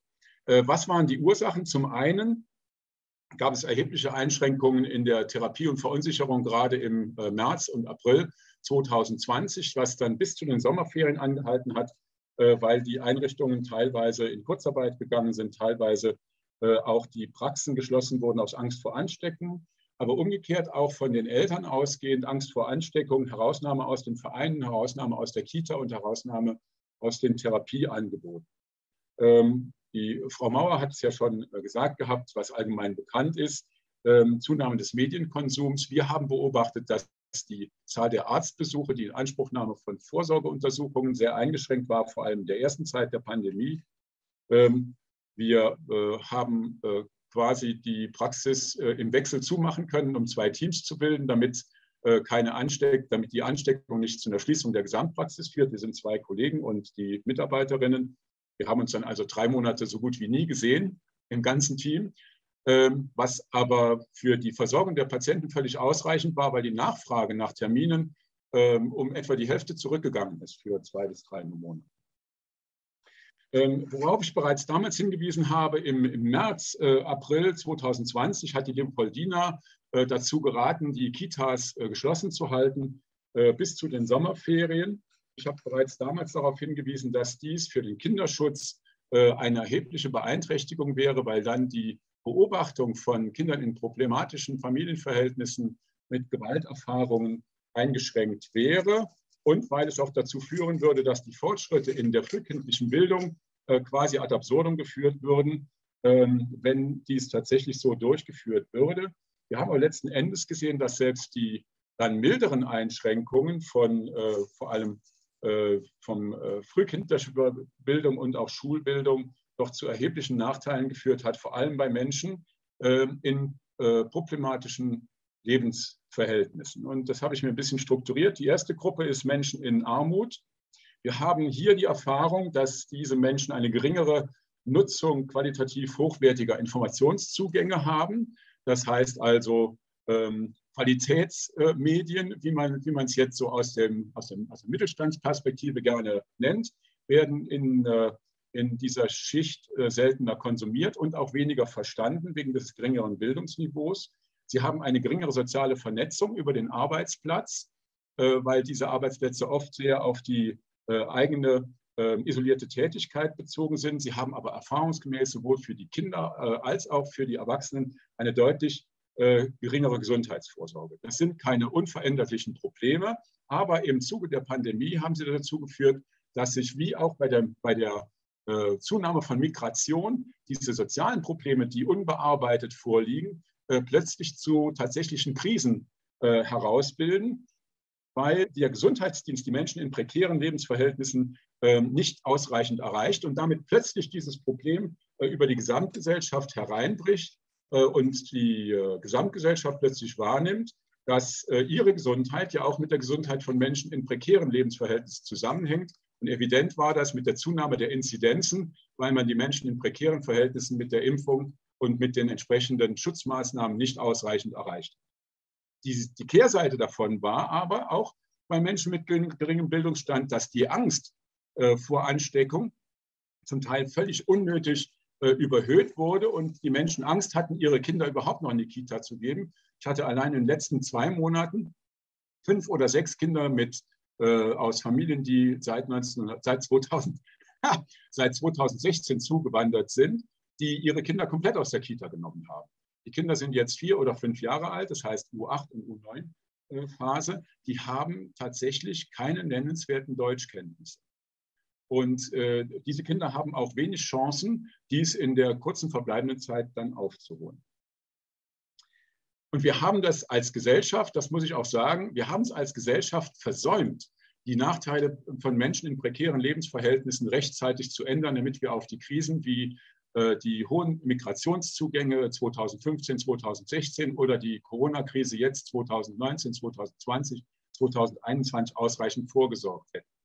Und das ist natürlich ein Problem, das dann bei der nächsten Krise genau wieder auf uns zurückfallen wird, wenn wir nämlich jetzt sagen, die Corona-Krise ist vorbei, wenn sich alle angesteckt haben äh, über die Omikron-Variante, wird uns die nächste Krise wieder treffen.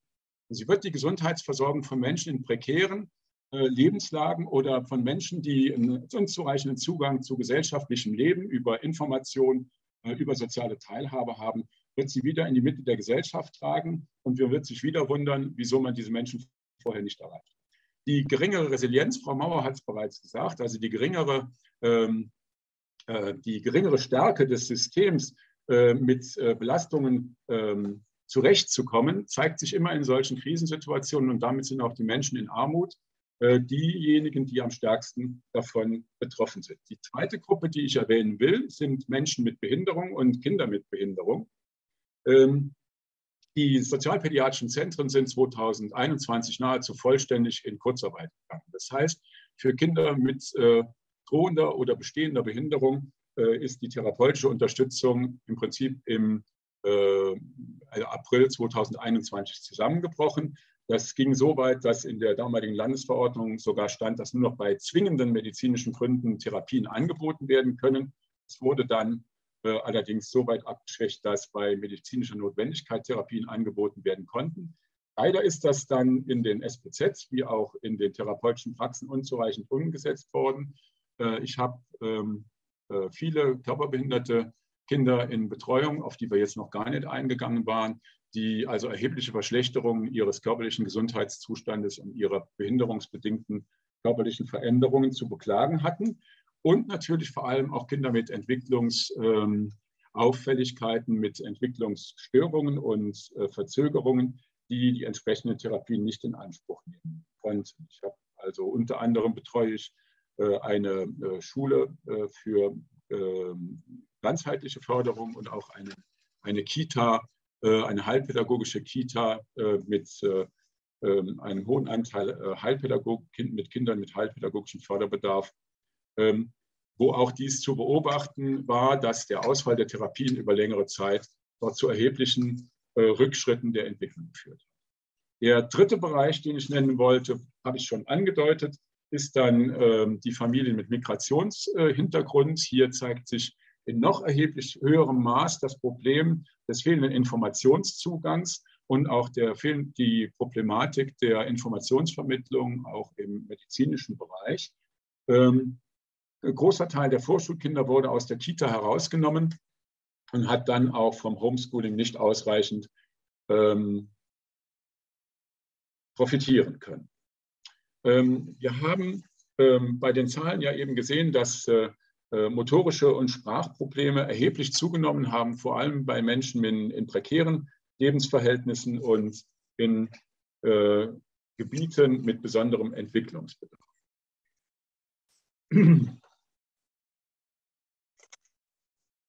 Was hätte ich jetzt noch an Anregungen zu geben in Ergänzung zu dem, was ja schon auf dem Tisch liegt? Äh, Katharina, du hast schon vieles gesagt, äh, was nur zu unterstützen ist. Ähm, ich äh, sehe aber noch weitere Probleme, die ich noch gerne ergänzen würde, weil wir das Thema Kinder- und Jugendhilfe fast noch nicht, aus, also noch nicht ausreichend betrachtet haben, was ja jetzt gerade in deinem Geschäftsbereich ganz zentral ist. Hm. Bei der medizinischen und bei der psychosozialen Versorgung spielt die Kinder- und Jugendhilfe eine nicht unerhebliche Rolle. Das hängt zum Teil damit zusammen, dass in Rheinland-Pfalz die Frühförderstellen mit den sozialpädiatrischen Zentren zusammengefasst sind und die Frühförderung vom Sozialamt äh, übernommen wird und bei seelischer Behinderung oder drohender seelischer Behinderung vom Jugendamt. Damit äh, ist die kommunale Finanzierung mitentscheidend dafür, wie sich der Kostenträger für diese notwendigen therapeutischen Maßnahmen letztendlich verhält, also wie restriktiv diese Maßnahmen ähm, äh, gehandhabt werden. Das führt dazu, in dem Bericht, in dem ich arbeite, da sind jetzt also, ähm, ich muss kurz durchzählen, drei, vier, fünf, sechs Jugendämter äh, beteiligt, äh, dass in äh, jedem Zuständigkeitsbereich dieser Jugendämter unterschiedliche Kriterien äh, vorherrschen und unterschiedliche Vorgehensweisen vorgenommen werden. Ähm, die besondere Situation der sozialpädiatrischen Zentren und Zentren für Frühförderung, die nicht in deine ministerielle Zuständigkeit fallen, das muss ich jetzt auch dazu sagen, äh, führt aber dazu, dass ein ganzer Teil der Kostenstruktur von der Zustimmung der Jugendämter äh, abhängig ist, weil die seelische Behinderung nach 35a Kinder- und Jugendhilfegesetz, also SGB 8, äh, eine Leistung der Jugendämter ist und die wiederum häufig über die Früh- oder fast in sehr hoher Zahl über die Frühförderstellen übernommen werden. Wenn diese Leistungen über die Erziehungsberatungsstellen gehen, dann werden sie pauschal abgerollt. Äh, deswegen sind die Jugendämter dann bei den äh, entsprechenden Unterstützungsstellen, also Frühförderstellen, teilweise sehr restriktiv. Ähm, zweiter Punkt ist, dass aufgrund der besonderen rheinland-pfälzischen Struktur, und da würde ich dich bitten, auch vielleicht mal auf das Gesundheitsministerium zuzugehen, ähm, wir als Kinderärzte, also selbst dann, wenn ich als Kinderarzt gleichzeitig in der, im Zentrum für Sozialpädiatrie und Frühförderung arbeite und in der Praxis, kann ich als niedergelassener Kinderarzt, ohne das Kind zuerst mit einer erheblichen Wartezeit ins SPZ zu überweisen, keine Frühförderung einleiten, obwohl der entsprechende gesetzliche Anspruch eigentlich besteht. Und das liegt daran, dass die äh, sozialpädiatrischen Zentren dann im ärztlichen Bereich die Kinder erst untersuchen und dann erst zur heilpädagogischen Frühförderung weiterleiten können. Also die anderen Frühförderstellen außer den SPZ, die es ja auch gibt, beispielsweise über die Lebenshilfe oder ähnliche Kosten, äh, ähm, Leistungsanbieter, das gar nicht übernehmen können, bevor die Kinder in dem SPZ waren. Und der dritte Punkt ist, dass diese äh, besondere Situation auch dazu führt, dass hier Kosten zwischen Krankenkassen und Jugendämtern hin und her geschoben werden. Also Jugendämter sich für nicht zuständig erklären, weil sie sagen, äh, Psychotherapie ist Aufgabe der Krankenkasse und nicht des Jugendamtes ähm, womit sie im Grunde genommen recht haben. Aber in dem Moment, wo eine äh, Pauschalfinanzierung im äh, sozialpädiatrischen Zentrum stattfindet, äh, versucht halt jeder, die Kosten auf den anderen zu verlagern. Das ist jetzt in der Zeit äh, der Pandemie äh, besonders äh, kritisch geworden, weil eben die Wartezeiten auf die entsprechenden Hilfen ganz erheblich sind und die Eltern dann zusätzlich zu der ganzen Belastung in der Pandemie nochmal mit komplizierten Antragsverfahren äh, und einem Hin und Her der äh, Kostenträgerschaft konfrontiert war. Ähm, allem anderen habe ich nichts hinzuzufügen. Ähm, mein Appell wäre, dass wir überall da, wo ähm, altersbedingt Aktivitäten sich unterscheiden, wir nicht über einen Kamm scheren dürfen. Kinder und Erwachsene und Jugendliche müssen entsprechend ihrer Lebenswelt äh, unterschiedlich behandelt werden. Für Menschen äh, im heranwachsenden Alter ist der Kontakt zu Gleichaltrigen äh, ein erheblich stärkerer Faktor für ihre Gesundheit und für ihr Wohlergehen als für Menschen in einem höheren Alter, die wesentlich mehr Alternativen haben, ähm, auch mit Krisensituationen umzugehen, aufgrund der größeren Erfahrung mit solchen Situationen. Das heißt also, wir müssen als erstes schauen, ähm, wo fangen wir mit der Normalität an? Wir haben das bei den Kitas nach vielfältiger Anregung ja ein Stück weit hm, auch ähm, äh, ein gutes Stück auch vollzogen, dort Normalität einkehren zu lassen in den Schulen, mehr oder weniger. Äh, aber was den Freizeitbereich vor allem von Jugendlichen und äh, jungen Erwachsenen angeht, sehe ich da eine Riesenaufgabe vor uns, hier Normalität walten zu lassen. Und ich will damit schließen, dass ich sage, Jugendliche haben derart viel Solidarität gezeigt, obwohl sie selbst von der Pandemie am wenigsten betroffen gewesen wären, dass es Zeit ist, dass die Gesellschaft dies zurückgibt und äh, Normalität für Menschen, für junge Menschen wiederherstellt. Ja, vielen Dank, Fred, für deine auch äh, für deine sehr ausführlichen Ausführungen. Und ähm, ich würde jetzt auch einmal in die, ja, in die Diskussion starten. Das heißt, ich gebe jetzt einfach auch Fragen in die Runde, adressiere euch schon, aber ihr könnt auch gerne auch alle äh, was dazu sagen, wenn ihr zu Punkten euch äußern wollt. Ähm, Katharina, es ist ja oft auch von dem Begriff Generation Corona die Rede, dass jetzt quasi wir eine ganze Generation mit den Auswirkungen prägen und ähm, mit den ganzen Einschränkungen und den negativen Auswirkungen. Aber kann man wirklich von einer Generation Corona sprechen oder ist es nicht so, dass man da viel mehr differenzieren muss, äh, welche genauen Gruppen von Kindern und Jugendlichen von welchen Auswirkungen betroffen sind? Und ist es auch so, dass auch vielleicht gar nicht alle gleich betroffen sind und dass manche auch gar nicht oder wenig tangiert, aber manche dafür umso stärker?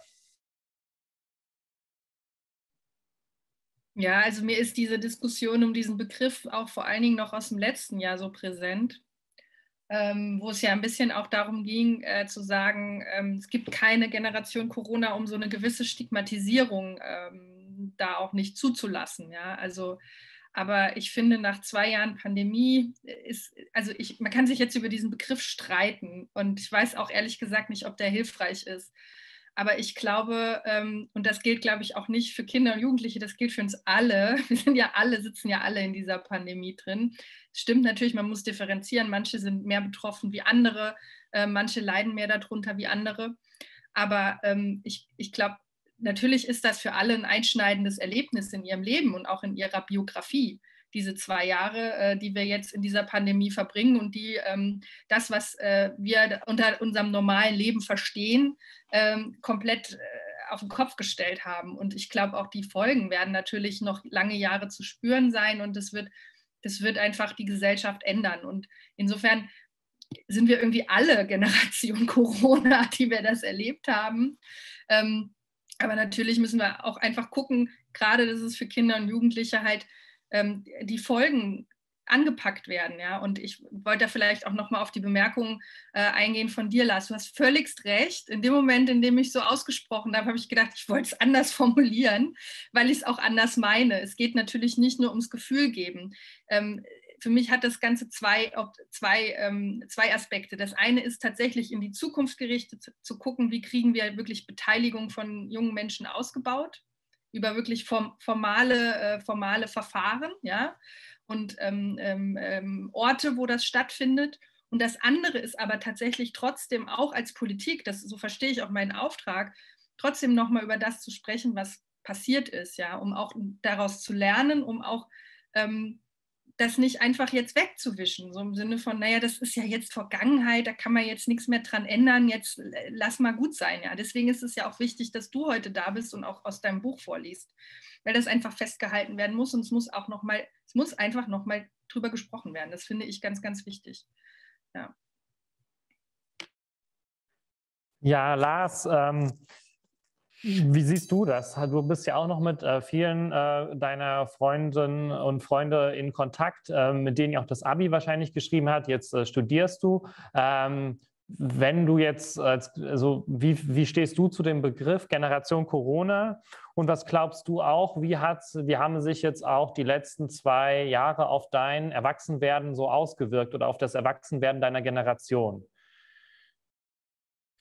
Ähm, ja, ich denke eigentlich, dass man nicht hier um einen Begriff streiten sollte, sondern viel eher direkt die Probleme angehen sollte. Ähm, es ist klar, wir alle müssen mit Corona umgehen und manche trifft es mehr, manche weniger. Ich habe jetzt aus meinem persönlichen Umfeld sehr stark mitbekommen, dass da sehr viele, auch psychisch, vor allem psychisch, Entschuldigung, ähm, vor allem jetzt sehr belastet waren. Ähm, sehr viele haben Depressionen bekommen und ich, ja, ich möchte jetzt keinen triggern, deswegen ähm, führe ich das Ganze nicht fort. Auf jeden Fall ging es ihnen schlecht und meist war der Griff zu einer professionellen Hilfe oder das, das Hingehen zu einer professionellen Hilfe das größte Problem. Ähm, man hat seine eigenen Probleme nicht ernst genommen, man hat sie in sich aufgestaut und das Ganze gab dann auf einen Punkt, wurde es dann einfach zu viel und ist dann rausgekommen wie aus einem Wasserfall. Ähm, was mir wichtig ist, ist wirklich, ich denke, der Begriff ist egal, wie man das jetzt nennt. Es ist einfach wichtig, dass man versucht, das Beste jetzt daraus zu machen aus der Vergangenheit. Jetzt nicht der Vergangenheit hinterher trauert, sondern wirklich in die Zukunft guckt, was können wir machen, damit es nicht nochmal so eine Welle an psychischen Erkrankungen gibt. Und wie können wir jetzt Leute entlasten oder Leuten helfen, die erstens noch nicht aus sich wirklich rauskommen die vielleicht das Ganze immer noch in sich aufstauen und es nicht zeigen? Und wie können wir denen helfen, die es jetzt schon vielleicht gezeigt haben, dass es ihnen schlecht geht und ja, einfach entlasten und sie halt eben mehr aktiv in die Politik mit einbeziehen? Ja, danke. Ähm, Frau Mauer, ähm, was glauben Sie nach jetzt auch zwei Jahren Lockdown ähm, und den ganzen Auswirkungen, die Sie auch in der, Ihrem Vortrag beschrieben haben und äh, was auch jetzt an Studien ausgeht, wie wirkt sich äh, das jetzt auf das Erwachsenwerden ausleben oder auswirken? Und ähm, können Sie vielleicht noch mal ganz genau erklären ähm, oder kurz zusammenfassen, warum das gerade jetzt die Generation der Jugendlichen so betroffen sind ähm, und äh, was Sie auch glauben, was es jetzt auch mit der Generation äh, gemacht hat.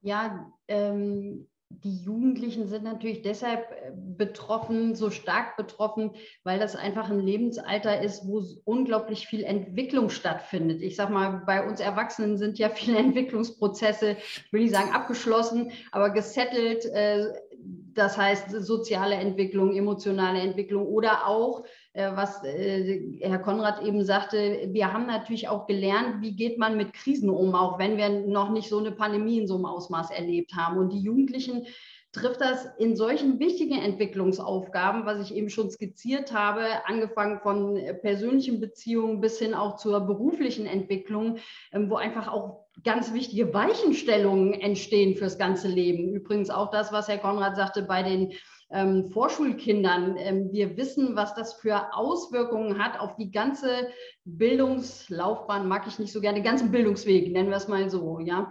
Und ähm, auf der anderen Seite sehen wir natürlich auch, dass auch Jugendliche und Kinder auch, auch resilient sind und auch ähm, schwierige Phasen bewältigen können, ähm, auch eine gewisse Robustheit da entwickeln können. Und ich will nicht sagen, ähm, man lernt jetzt fantastisch aus der Corona-Pandemie, weil es eine furchtbare Belastung ist. Aber natürlich, ähm, naja, kann man auch oder gehen manche auch gestärkt vielleicht daraus hervor. Aber wie gesagt, ich möchte das nicht als so einen per se positiven Aspekt verkaufen, der es in den meisten Fällen nicht ist. Ja.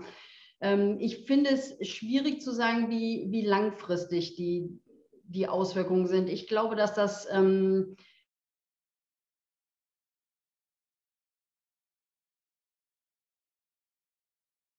und zum einen von Lars das, ähm, und auch von Katharina Binz, das wirklich aufzuarbeiten und sich damit nochmal aktiv auseinanderzusetzen und zwar äh, für alle gesellschaftlichen Bezüge. Was hat das bedeutet? Welche Auswirkungen hat das? Was hat gut funktioniert? Was hat nicht gut funktioniert? Und wo müssen wir besser werden? Weil ähm, ich weiß, jetzt kann ich allen die Laune verderben, aber hinten dran lauert die Klimakrise. Das ist noch eine ganz andere Dimension.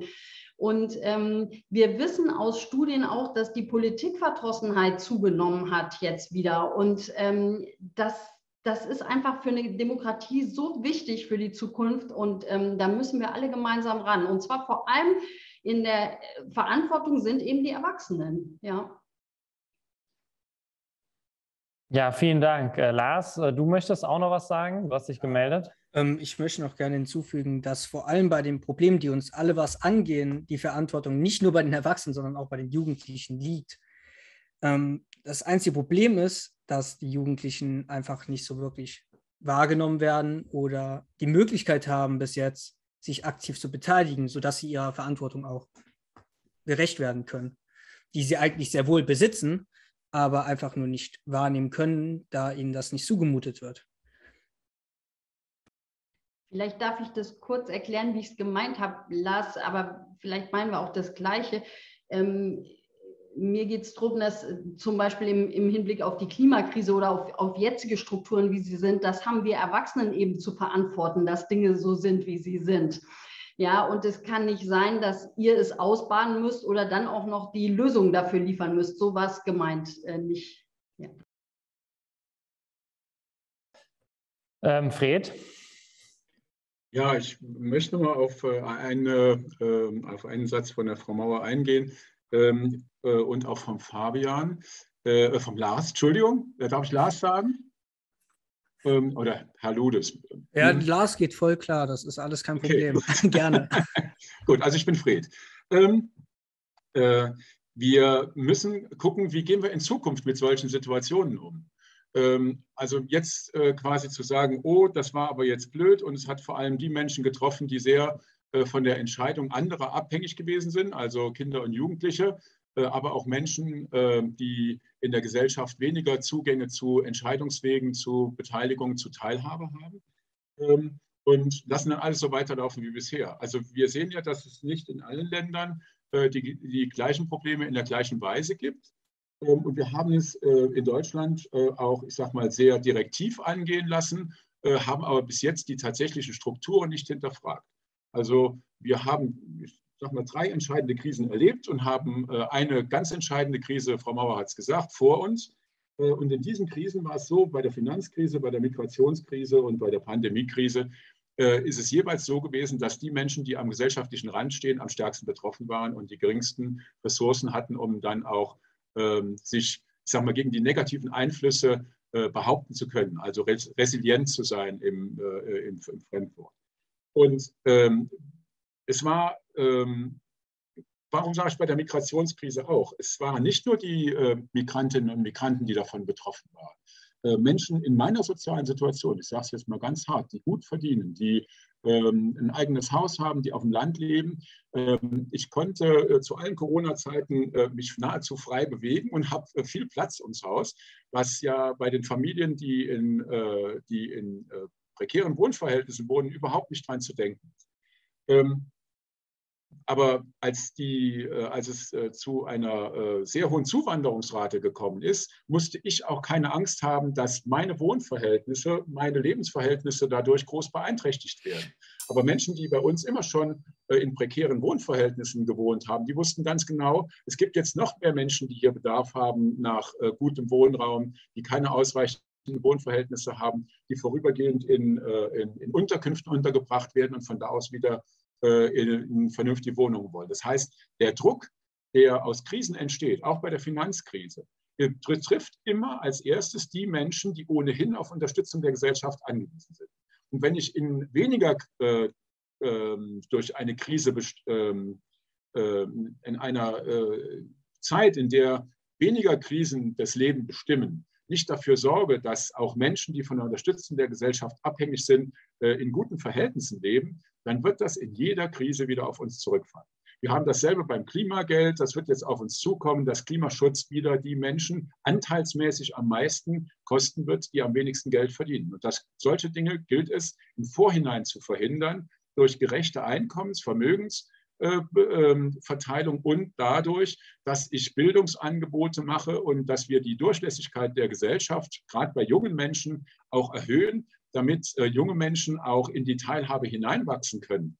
Äh, in keinem anderen Land bestimmt der Bildungsstand der Eltern so sehr darüber, welche beruflichen und Bildungschancen ihre Kinder haben. Das, das, können wir nicht sagen, dass das mit dieser Corona-Krise, mit der Finanzkrise oder mit der Migrationskrise nichts zu tun gehabt hat. Es ist vielmehr so, dass die Menschen äh, die Unterstützung noch verlieren, wenn andere Probleme sich wieder in den Vordergrund drängen.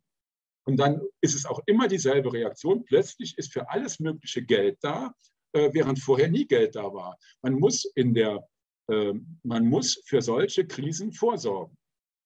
Ein Beispiel, Gesundheitssystem. Wir sagen jetzt, das Gesundheitssystem droht über, äh, überfordert zu werden. Aber wir haben das Gesundheitssystem so ausgestattet, dass wir sagen, wir können mit einer gut durchschnittlichen Belastung des Gesundheitssystems gut umgehen. Wir haben, wenn wir das mit der Feuerwehr so machen würden, dann würden wir gucken, oh, bei uns im Dorf hat es jetzt drei Jahre nicht gebrannt, dann machen wir die Feuerwehr zu. Ja, weil einfach kein Bedarf da ist. Das wird aber nicht ausreichen, weil es auch in der Nähe mal brennen kann und dann ist die Vorwarnzeit zu lang.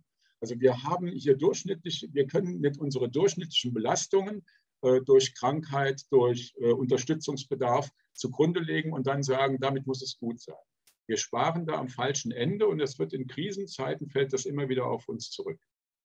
Und jetzt auch mal was Positives. Es ist, glaube ich, ganz entscheidend für unsere Situation in Rheinland-Pfalz, dass die Kommunen jetzt von ihren Schulden entlastet werden, weil die sind vor Ort und geben die meiste Unterstützung für die Menschen vor Ort, die jetzt nicht über die sozialen Sicherungssysteme abgedeckt sind. Und das war sehr restriktiv gehandhabt worden. Und ich hoffe, dass da, ich sage mal, die Kriterien etwas gelockert werden und in ganz Rheinland-Pfalz auch vereinheitlicht werden. Das wäre jetzt wirklich ein Appell an dich, Katharina, dass äh, nicht in jedem Jugendamt und in jedem Sozialamt der äh, Sozialamts- oder Jugendamtsleiter oder die Leiterin dann äh, wie der kleine König ähm, darüber bestimmen darf, welche Kriterien jetzt gerade da gelten. Und wie gesagt, wir müssen jetzt die nächsten Jahre wirkliche Sozialpolitik machen, damit die nächste Krise uns nicht noch härter trifft als diese. Und auch die, äh, eine vernünftige Bildungs- und Jugendpolitik machen. Also die Teilhabe werden wir jetzt nicht erreichen, wo noch Krisenmodus ist. Das muss erarbeitet werden, wenn wir wieder, sag mal, in einem politisch ruhigeren Fahrwasser sind.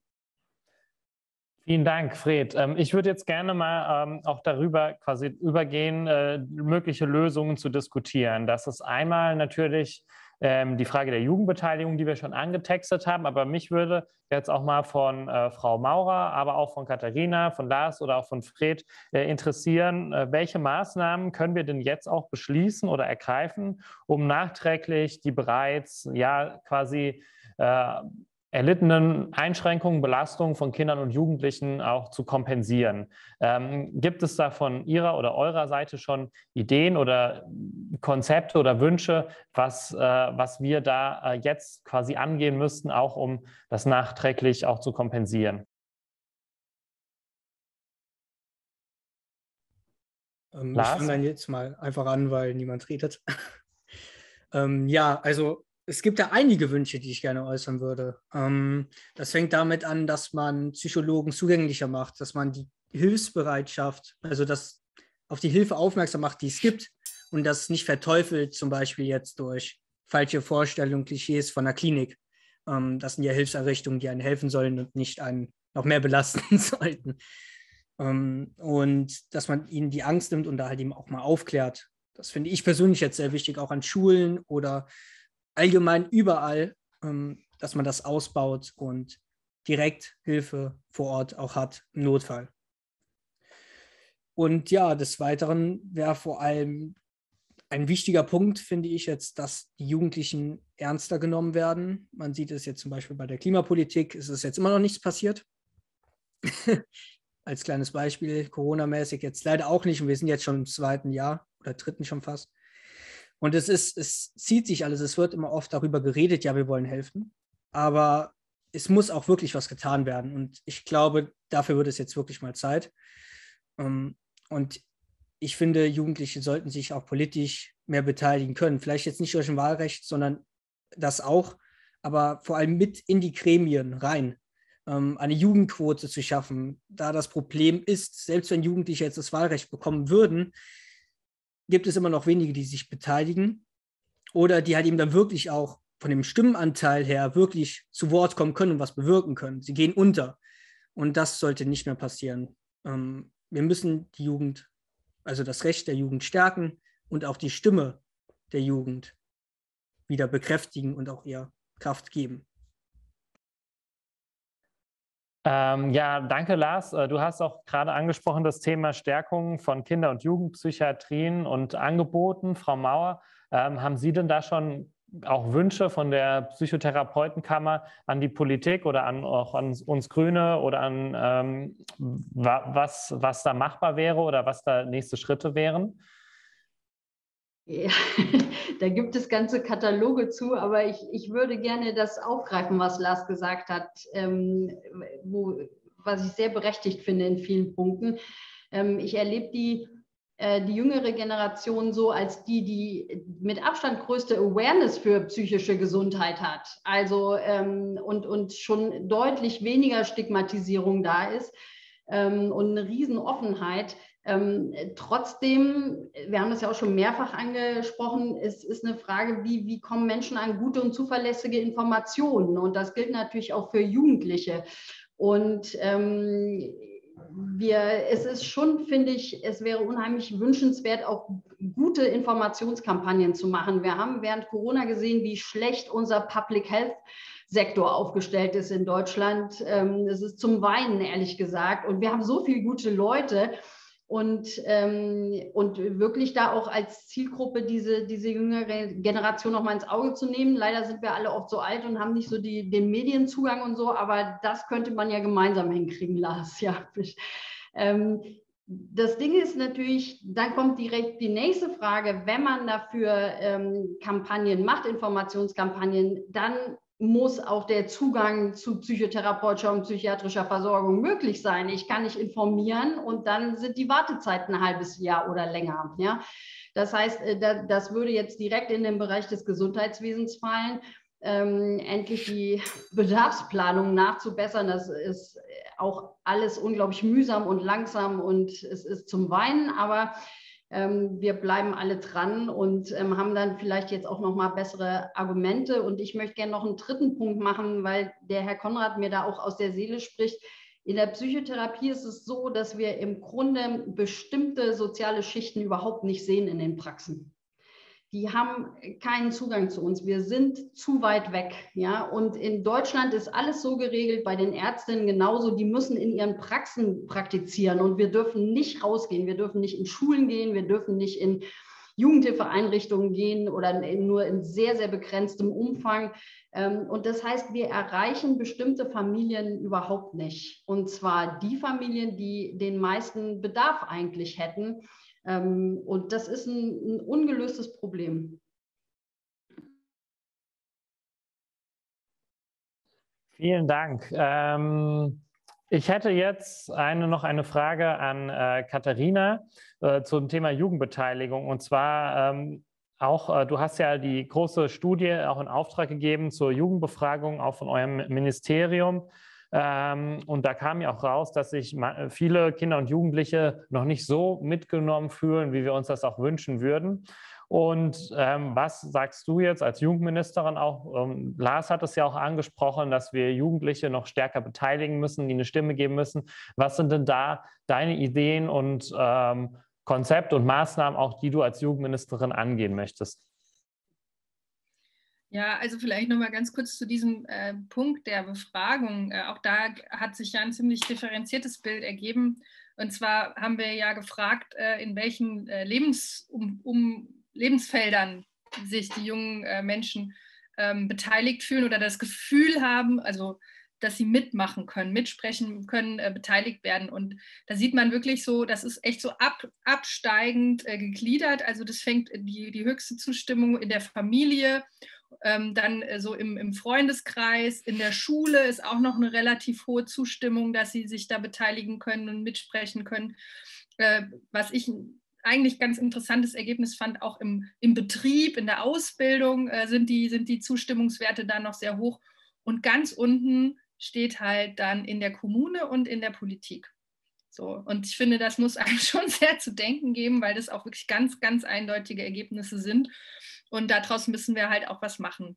Ich bin ähm, eine ganz klare Verfechterin von der Senkung des Wahlalters, ähm, weil ich das auch einfach aus, ähm, also jetzt noch nicht mal mehr aus jugendpolitischen Gründen alleine, auch aus jugendpolitischen Gründen, aber auch aus demokratietheoretischen Gründen äh, einfach für richtig halte. Das Wahlrecht ist ein Grundrecht und ähm, die Beschneidung des Wahlrechts muss äh, also sehr, sehr gut begründet sein. Und ähm, es ist mir einfach es ist mir einfach nicht gut begründet, warum 16-Jährige, 17-Jährige nicht wählen dürfen. Hm, das ist jetzt erstmal der Schritt, den wir gehen. Ähm, wenn der dann mal gemacht ist, können wir noch weiterreden über weitere Schritte. Aber erstmal diesen Schritt zu gehen, wäre schon ganz wichtig. Und äh, der Sätze, also das ist, finde ich, hat das, das, wär, das hat schon auch eine große Wirkung, weil das natürlich Auswirkungen hat auf den gesamten äh, Betrieb und auf die gesamte ähm, ähm, politische äh, Landschaft und auch politische Debatte. Weil selbst wenn junge Menschen, ähm, das hast, hast du eben richtig gesagt, natürlich ähm, zahlenmäßig ja äh, andere Altersgruppen nicht aufwiegen können, werden sie dann trotzdem auf einmal Wählerinnen und Wähler und werden auf einmal natürlich auch ähm, äh, ganz anders betrachtet von, von Parteien. Es ist schade, dass es das braucht, aber es ist halt einfach mal so. Ne? Und deswegen bin ich eine ganz klare Verfechterin davon, das Wahlalter auch zu senken und dadurch auch zu einem früheren Zeitpunkt äh, junge Menschen nicht nur sozusagen ähm, an, die, an die Wahlentscheidung ranzuführen, sagt man so schön, sondern sie natürlich auch äh, früher äh, aktiv in den politischen äh, Prozess mit, mit, mit einzubeziehen. Ähm, ich glaube, wir brauchen aber noch mehr. Ähm, der Fred Konrad hat eben auch nochmal von der Bedeutung der Kommune gesprochen für die ähm, ganz konkreten Lebensumstände der Menschen. Das gilt eben auch vor allen Dingen für Kinder und Jugendliche. Und deswegen müssen wir vor allen Dingen auf der Ebene der Kommune Beteiligungsmöglichkeiten für Kinder und für Jugendliche auch ausbauen und auch befördern. Es gibt natürlich auch schon heute die, die Möglichkeit von Kommunen, dass sie Kinder und Jugendliche beteiligen. Das wird aber leider noch nicht so stark genutzt, äh, wie ich das äh, für richtig finden würde. Und es gibt auch äh, einfach da noch Hürden, die wir gerne abbauen würden. Und deswegen müssen wir an dieses Thema auch ran. Und dann ist aber natürlich, ich bin Landesministerin, auch die Landesebene gefragt, nochmal zu überlegen, wie kriegen wir Kinder und Jugendliche stärker beteiligt. Wir haben jetzt einen, Verfahren, einen Vorschlag im Koalitionsvertrag, den wir umsetzen wollen, nämlich einen Jugendbeirat ähm, einzusetzen. Das ist jetzt nicht ja, der große Wurf, ja, aber das ist der erste Schritt auch ähm, als Landespolitik, äh, Jugendliche mehr als eine Gruppe zu definieren, wo wir wirklich sagen müssen, die müssen wir anhören bei allen Dingen, die wir so tun. Ja, wir müssen immer gucken, die Gesetze, die wir machen, die Entscheidungen, die wir treffen, wie wirken die sich auf Jugendliche aus? Und äh, dazu soll eben dieser Jugendbeirat ein erster Schritt sein. Ich persönlich möchte aber jetzt nicht, dass wir sozusagen den x-ten Landesbeirat ähm, einrichten, in dem dann die sitzen, die auch in allen anderen Beiräten sitzen, sondern ich möchte das auch ein bisschen äh, jugendfreundlicher machen. Ja, das, das kann für mich zum Beispiel, das muss zum Beispiel gar kein feststehendes Gremium sein, wo wie gesagt auch fünf Jahre immer die gleichen Leute drin sitzen, sondern es gibt ja auch einfach spannende Modelle ähm, wie Bürgerräte, die funktionieren ja auch so, dass es immer rollierend ist. Ähm, und und äh, sowas könnte ich mir vorstellen, aber das ist sozusagen auch alles noch in der Planung, ja. Ja, vielen Dank, Katharina. Ich komme jetzt auch zu den äh, Fragen, äh, die uns zahlreich erreicht haben. Ähm, ich kann einmal schon mal sagen, uns haben sehr, sehr viele Fragen erreicht und es schauen noch sehr, sehr viele Leute draußen zu. Ähm, wir können jetzt aufgrund der verbliebenen Zeit nicht alle Fragen beantworten, aber wir äh, versprechen, dass alle Fragen, die eingegangen sind, wo wir auch die Kontaktdaten haben, auf jeden Fall im Nachgang eine schriftliche Beantwortung bekommen. Ähm, das versprechen wir euch und auch schon mal vielen Dank für eure ganzen Fragen, die eingegangen sind. Ich habe jetzt eine Frage an Katharina von Sophie Petri. Sie fragt, welchen Rat geben Sie als Ministerin Jugendverbänden im Umgang mit der Pandemie? Sollen wir mutig sein und Angebote anbieten oder lieber Schutz von Kindern und Jugendlichen vorziehen und auf digitale Tools zurückgreifen? Ich glaube, dass sich das nicht ausschließt unbedingt. Und das ist ja genau das, woran wir eigentlich äh, immer wieder arbeiten und wo wir auch versuchen, Hilfestellung zu geben. Also wir brauchen Angebote für Kinder und Jugendliche, die stattfinden in Präsenz, aber die müssen natürlich sicher sein. Also Infektionsschutz ist natürlich ein ganz, ganz großes äh, Thema nach wie vor. Und ich glaube, es gibt auch also zum Beispiel das Hygienekonzept, was, was wir erstellt haben für Jugendfreizeiten, das zeigt auch eben den Weg auf, wie man solche Dinge auch sicher durchführen kann. Und es gibt Hygienekonzepte, die das ermöglichen. Und deswegen ähm, bin ich da eine ganz klare Verfechterin davor, wirklich auch äh, Sachen stattfinden zu lassen, aber natürlich mit den notwendigen ähm, Schutzmaßnahmen, die es braucht. Aber das ist, glaube ich, auch wirklich möglich. Vor allen Dingen, wenn wir halt wieder Richtung Frühling, Richtung Sommer gehen. Weil momentan ist natürlich diese Hochinzidenzphase, diese, diese Omikron-Welle, ähm, da ist es super schwierig, was zu planen. Das kann ich verstehen. Es geht uns allen ja so. Aber ich denke mal, wenn wir Richtung Frühjahr, Sommer gehen, dann muss es einfach wieder ganz viele Angebote auch geben. Und ich glaube, das ist dann auch hoffentlich möglich. Super, vielen Dank. Ähm, es hat noch eine weitere Frage uns erreicht, und zwar im Vorfeld von der Sportjugend Rheinland-Pfalz, die auch explizit fragen, ähm, welche Möglichkeiten es im Sport gibt, sage ich jetzt mal, die, äh, ja, die, ja, die, die Corona-Maßnahmen und die Einschränkungen aus der Corona-Pandemie auch zu kompensieren und welche Rolle alle Diskutanten und Diskutantinnen und Gäste äh, im, im, Sport sehen und äh, vor allem in den Angeboten ja von Sportvereinen an Jugendliche und Kinder. Fred und Katharina, Fred hat sich schon mal gemeldet dazu. Ich hatte ja schon gesagt, dass die äh, motorische Entwicklung einer der Bereiche ist, die äh, bei kleineren Kindern ganz besonders betroffen sind. Äh, wir haben ja auch die ähm, äh, Daten vom RKI, auch betreffend die Gewichtszunahme während der Corona-Zeit. Hier haben wir zwei Bereiche, die ohne ein ausreichendes Bewegungsangebot überhaupt nicht anzugehen sind. Ähm, und ich spreche mich vor dem Hintergrund der derzeitigen Situation, wenn es keine neue Variante geben sollte bis zum Sommer, die jetzt Kinder und Jugendliche in einer stärkeren Weise betrifft als jetzt, äh, spreche ich mich eindeutig dafür aus, äh, zunächst einmal diesen ganzen Bereich zu normalisieren. Ähm, die These, dass eine hohe Inzidenz in den Sommerferien dazu führt, dass wir im Herbst eine höhere Welle haben, hat sich nicht bestätigt. Bestätigt sich aus dem Grund nicht, weil eine, ein exponentielles Wachstum äh, immer dasselbe ist, nur der Unterschied am Startpunkt ist zeitlich und nicht quantitativ. Und das ist insofern, weil ein exponentielles Wachstum immer eine bestimmte Verdopplungszeit hat und Verdopplung bedeutet, dass es relativ ab einem gewissen Punkt relativ schnell geht und ob ich jetzt äh, die, äh, eine Inzidenz im September erreiche oder im August, äh, hat auf die Inzidenz im äh, November auch nur den, äh, den Einfluss, dass äh, man vier Wochen früher oder später ist. Wir sehen das jetzt im Vergleich zu den europäischen Nachbarländern ganz eindeutig. Deshalb im Sommer und im Frühjahr, wenn die Omikron-Welle so abebbt, wie es jetzt prognostiziert wird, ähm, die sportlichen und Bewegungsangebote für Kinder und Jugendliche komplett freigeben. Ähm, ich denke, so wie wir jetzt die Schulen handhaben, äh, ist das die absolut logische Folge. Ähm, das muss jetzt äh, gerade, was den Indoor-Sport angeht, nicht unbedingt bis Anfang März passieren, aber danach gehe ich davon aus, dass wir diese Beschränkungen komplett aufheben können. Das Zweite ist natürlich, wie bringe ich dann die Menschen, die sich da engagiert haben, die Ehrenamtlichen, wie bringe ich die zurück äh, in, die, in, das in, das Engagement der Vereine? Ähm, ich glaube, da äh, bedarf es jetzt einer jetzt zu planenden Informations- und Werbekampagne, die Leute aufzurufen, die sich vor der Pandemie eingebracht haben, sich auch wieder einzubringen. Das wird eine Riesenaufgabe. Wir sehen das ja nicht nur im politischen Bereich, sondern auch gerade im Freizeitbereich, wo sich Leute zurückgezogen haben, weil einfach nichts mehr für sie zu tun war, weil es schlichtweg verboten war, dieses Angebot weiterzuführen. Die müssen wir wieder zurück, die müssen wir wieder zurückholen, die müssen wir gezielt ansprechen, dass die Menschen, die vorher ehrenamtlich im Freizeit- und Sportbereich engagiert waren, engagiert waren, sich wieder engagieren.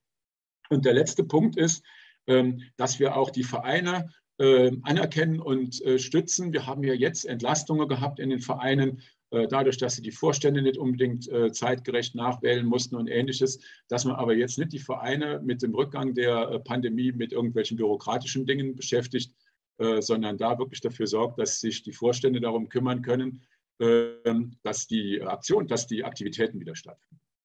Noch eins zu eben, was du gesagt hast, Katharina, das, deswegen hatte ich mich eben schon mal kurz gemeldet. Wir müssen ähm, auch von, der, von dem Begriff der Beteiligung, ähm, den müssen wir auch mit Vorsicht, das klingt jetzt klugscheißerisch, aber ist nicht so gemeint. Ähm, viel wichtiger ist die Teilhabe. Weil die Teilhabe ist zunächst mal ohne Voraussetzung und ist ein Zeichen für ein sogenanntes inklusives Gemeinwesen, die das jeden mitnimmt und das jedem die Zugangsmöglichkeiten gibt. Beteiligung gibt es ein Aktiv und ein Passiv. Also es wird jemand beteiligt. Äh, der Beteiligte oder die Beteiligte ist die passive dabei und die aktive ist die oder der, die Beteiligten. Das führt dazu, dass wir Strukturen haben, die die letztendliche Entscheidung treffen und dass zum Beispiel Kinder- und Jugendbeiräte in vielen Fällen äh, weder auf das Budget einen Einfluss haben, sondern eben nur angehört werden und dann machen die Älteren wieder das, was sie wollen. Und da ist, glaube ich, der Begriff Teilhabe ähm, also gesellschaftliche Teilhabe, sowohl was diese, Beteiligungs diese politischen Beteiligungsprozesse angeht, als auch das Alltagsleben, das müssen wir analysieren und für wen steht das offen und für wen nicht, weil wenn wir das öffnen, dann wird die Gesellschaft als Ganzes ähm, auch äh, resilienter, also abwehrfähiger gegen, gegen künftige Krisen. Und das stärkt auch das äh, Zusammenhaltsgefühl. Und ich glaube, das ist das, was wir nach der Krise auch äh, brauchen, um die nächste Krise vorzubereiten, um aus diesem Modus rauszunehmen. Also zwei Dinge, äh, mehr Teilhabe ähm, und die Beteiligung äh, als Teilhabe verstehen. Und das Zweite ist, äh, die sportlichen Aktivitäten ab März komplett freigeben, wenn sich die äh, Omikron-Welle so entwickelt, wie es jetzt abzusehen ist. Alles andere wäre wissenschaftlich evident nach den jetzigen Daten nicht nachzuvollziehen. Vielen Dank. Ähm, ich habe eine weitere Frage an Frau Mauer. Äh, gibt es ein Verzeichnis von Schulpsychologen, Schulpsychologinnen in Rheinland-Pfalz, die sich mit unterstützter Kommunikation auskennen? Das weiß ich tatsächlich nicht, weil ich für die Schulpsychologin sozusagen qua Amt nicht zuständig bin, nur für Psychotherapeutin. Aber ich würde direkt beim Schulpsychologischen Dienst ähm, in Rheinland-Pfalz anfragen. Wer die Frage hatte, die werden sicher gerne ähm, weiterhelfen. Okay, das geben wir so ähm, zurück. Ähm, Lars, du hattest dich auch noch gemeldet zur Frage davor. Ähm, ja, ich wollte einfach nur anmerken, dass ich ähm, Fred da vollkommen eigentlich zustimme. Ähm, ich finde, es ist wichtig, dass Jugendliche sich sportlich auch wieder beteiligen können und ihre alten Hobbys wieder aufnehmen können. Wobei ich aber auch Verständnis für die habe, die jetzt zum Beispiel Großeltern zu Hause, zu Hause haben und da halt eben eine Infektion droht ähm, und dass darauf trotzdem irgendwie Rücksicht genommen werden sollte. Ähm, allgemein sehe ich es aber für wichtig, dass man versucht, jetzt diese Einschränkungen, die wir haben, bei so einer hohen Inzidenz, die sich weiterhin immer weiter, also die ist ja unaufhaltbar, egal wie viel wir jetzt einschränken werden, ähm, da stellt sich halt eben mir die Frage, wenn es jetzt nicht mehr aufhaltbar ist, dann lohnt es sich noch, das Ganze so jetzt hinaus zu zögern, was nicht mehr voraus, hinauszögerbar ist, richtig. Ähm, oder ob man es jetzt schnell hinter sich bringen will und dadurch halt eben psychische Schäden entlastet und die, die davon eine Gefahr haben, halt eben zu Hause bleiben und ja, ist jetzt nur so eine allgemeine theoretische Frage, ähm, ja, die ich mir gestellt habe. Ja, ähm, wir wären jetzt so langsam ähm, am Ende angekommen, aber es haben alle noch die Möglichkeit, jetzt äh, ein Schlussstatement abzugeben. Und dann würde ich nämlich an den Josef Winkler übergeben, der dann auch nochmal äh, ein Resümee zieht und äh, in die Verabschiedung der, ähm, unserer ZuschauerInnen ähm, geht. Und ich würde mit dem Schlussstatement jetzt anfangen bei ähm, Fred. Jetzt geht's.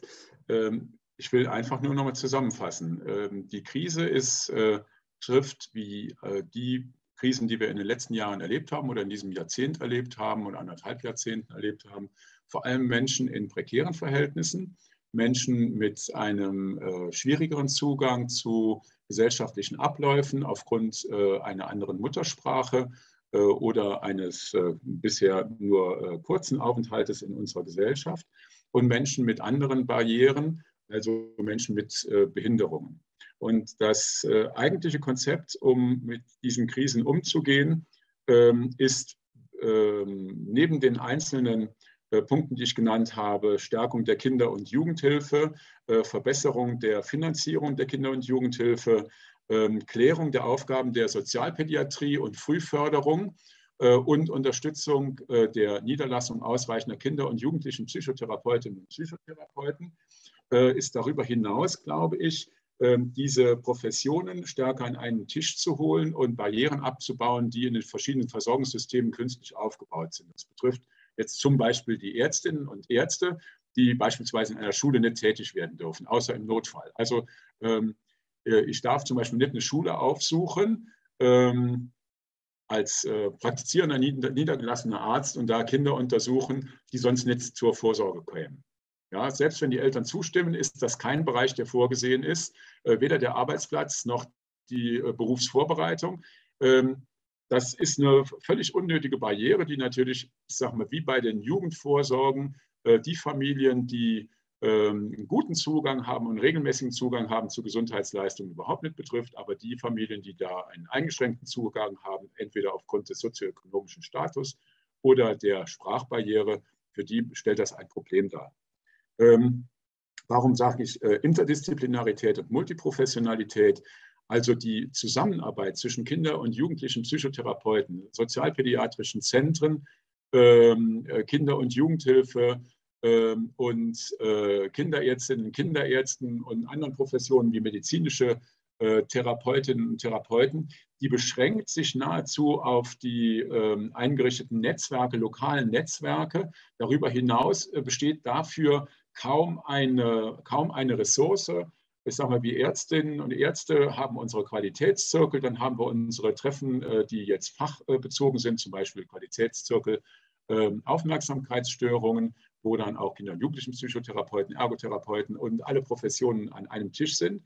Aber dass die Arbeit insgesamt multiprofessionell äh, und interdisziplinär organisiert wäre, das ist völlig unterbelichtet. Und das, äh, das führt dazu, dass äh, wenn alle ähm, Bereiche ähm, äh, hohe Wartezeiten haben, Frau Mauer hat das schon angedeutet, da geht es um, nicht um einen Monat oder zwei Monate, wenn ein Kind, wenn ich bei einem Kind äh, feststelle, das hat eine Entwicklungsstörung und äh, soll in anderthalb Jahren in die Schule aufgenommen werden. Da geht es tatsächlich dann um ein halbes Jahr oder ein Dreivierteljahr. Und dann gibt es nochmal eine Wartezeit zur medizinischen Therapie. Falls die empfohlen wird, dann ist das Kind äh, halb in der Schule, bevor überhaupt was passieren kann. Und da muss tatsächlich müssen die Versorgungswege, das ist ein wichtiger Begriff, die müssen äh, betrachtet werden. Und da muss, das ist auch tatsächlich eine äh, Aufgabe in meinen Augen der Landesregierung, weil hier sind zwei Ministerien, die sich das, äh, drei Ministerien, die sich das aufzuteilen haben, das Bildungsministerium, das äh, Gesundheitsministerium und das Familienministerium. Und in meinen Augen wäre es eine Selbstverständlichkeit, weil die Familie das Zentrum davon ist, in dem die Kinder ihre Hauptlebenswelt haben, dass das Familienministerium hier eine koordinierende Funktion äh, inne hätte, die auch von den anderen Ministerien akzeptiert wird. Das heißt also, dass ein gewisser Anspruch darauf sein sollte, dass die Familien Hilfe im Gesundheitssystem äh, im, und im Bildungssystem bekommen, eben weil dieses Kind innerhalb seiner Familie in dem System aufgehoben und gefördert und geschützt sein muss. Hm, das ist jetzt ziemlich weitgehend und es ist ja auch ja. klar, warum ich das so sage. Ne? Sehr das lang für ein Schlusswort. ähm, genau, vielen Dank, Fred. Ich würde jetzt äh, Lars für sein Schlussstatement äh, das Wort geben, aber bitte kurz fassen, weil wir müssen auf jeden Fall um kurz vor acht ja. äh, fertig ich, werden. Noch. Ich versuche mich kurz zu fassen. Ähm, ja, eigentlich, also was sich jetzt für mich ergeben hat, ist, um das jetzt nochmal festzuhalten, die Jugend leidet psychisch, denke ich jetzt persönlich mehr als körperlich. Und wir müssen da unbedingt nachrüsten und halt ihm aufbauen, ähm, was Psycho ähm, Psychologenhilfeanstalten angeht und auch den Zugang und die Informationen dazu zur Hilfe.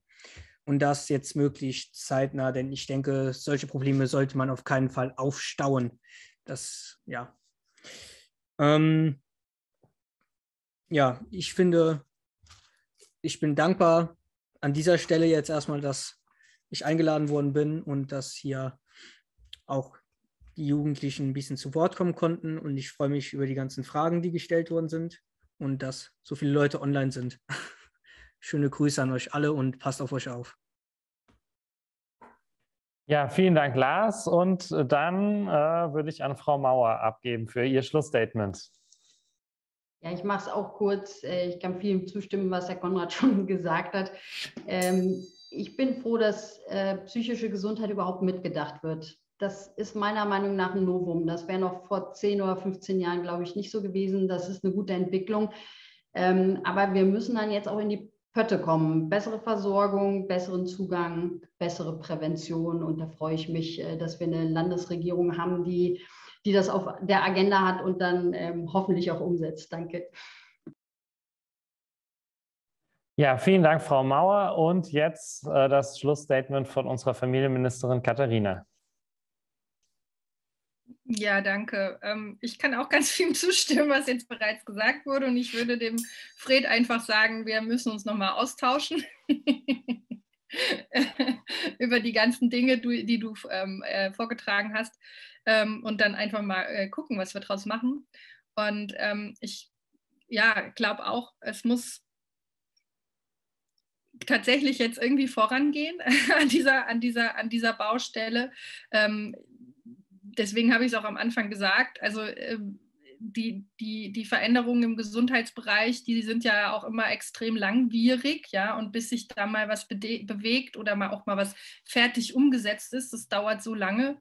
Aber ich glaube auch, dass wir die Zeit momentan einfach nicht haben, ähm, um, um, um das aufzufangen, was jetzt, was jetzt in dieser Krise auch einfach passiert ist. Und deswegen kann ich das nochmal ähm, wiederholen. Ich habe äh, da auch eine große Sympathie für, erstmal vorübergehend andere Lösungen zu finden, um die psychische Versorgung da auch ähm, äh, zu verbessern. Und ich glaube, ähm, darüber hinaus äh, ist es, wie gesagt, mein Ansinnen und mein Ziel, ähm, das zu tun, was, was wir mit meinem Ministerium machen können, um wirklich die Umstände für Kinder, für Jugendliche, für Familien aber natürlich auch äh, in dieser Pandemie äh, so, so gut wie möglich zu machen und auch wirklich Richtung, Richtung Sommer hin wieder dafür zu sorgen, dass es möglichst viele Dinge gibt, die auch äh, stattfinden können, wo äh, Jugendliche sich dann auch wieder begegnen können, wo Kinder ähm, toben können, wo Familien auch irgendwie mal zur Ruhe kommen können.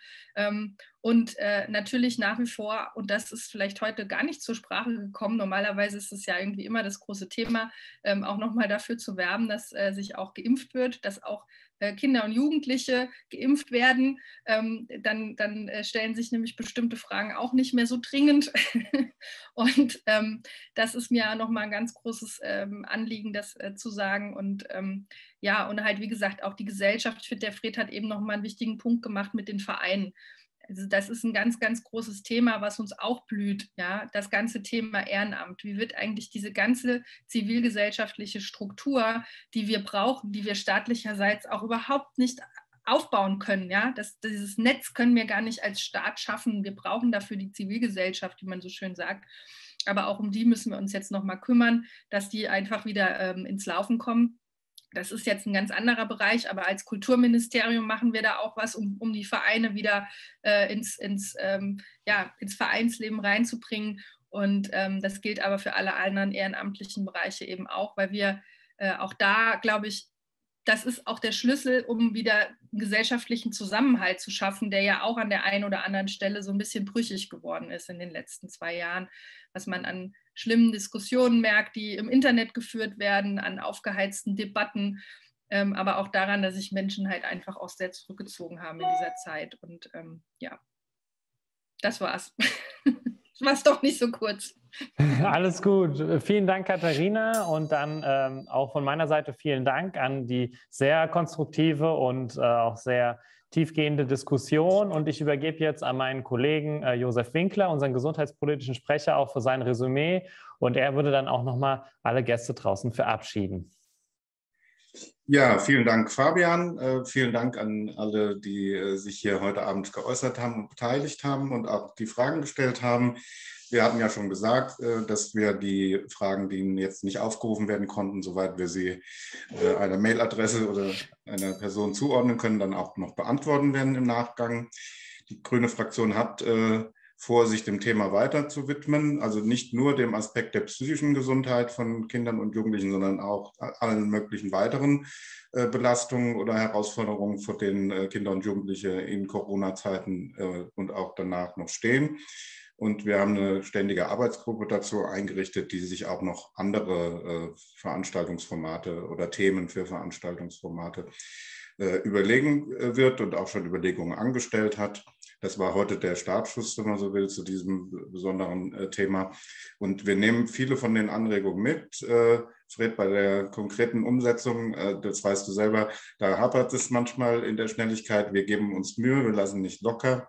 Wir versuchen schon äh, ähm, die Dinge, die im Koalitionsvertrag äh, angelegt sind, äh, auch umzusetzen und jetzt aber eben speziell auf die Belastungen eben einzugehen, die Kinder und Jugendliche haben. Und wir haben ja heute nur eine, eine ganze Reihe von Aspekten, aber wir haben ja auch eine ganze Reihe von Aspekten nicht so genau betrachtet, wie jetzt zum Beispiel im Bildungswesen, was heute nur bestreift wurde, äh, der Sport und so weiter und so fort. Also wir äh, werden uns dem weiter widmen. Nochmal äh, vielen Dank, äh, Katharina, äh, Lars, äh, Fred, äh, Frau Mauer, äh, fürs, für die interessanten Einblicke und Ausblicke. Und wir sehen und hören uns dann in anderer Zusammensetzung wieder. Und ich bedanke mich auch bei allen, die zugeschaut haben.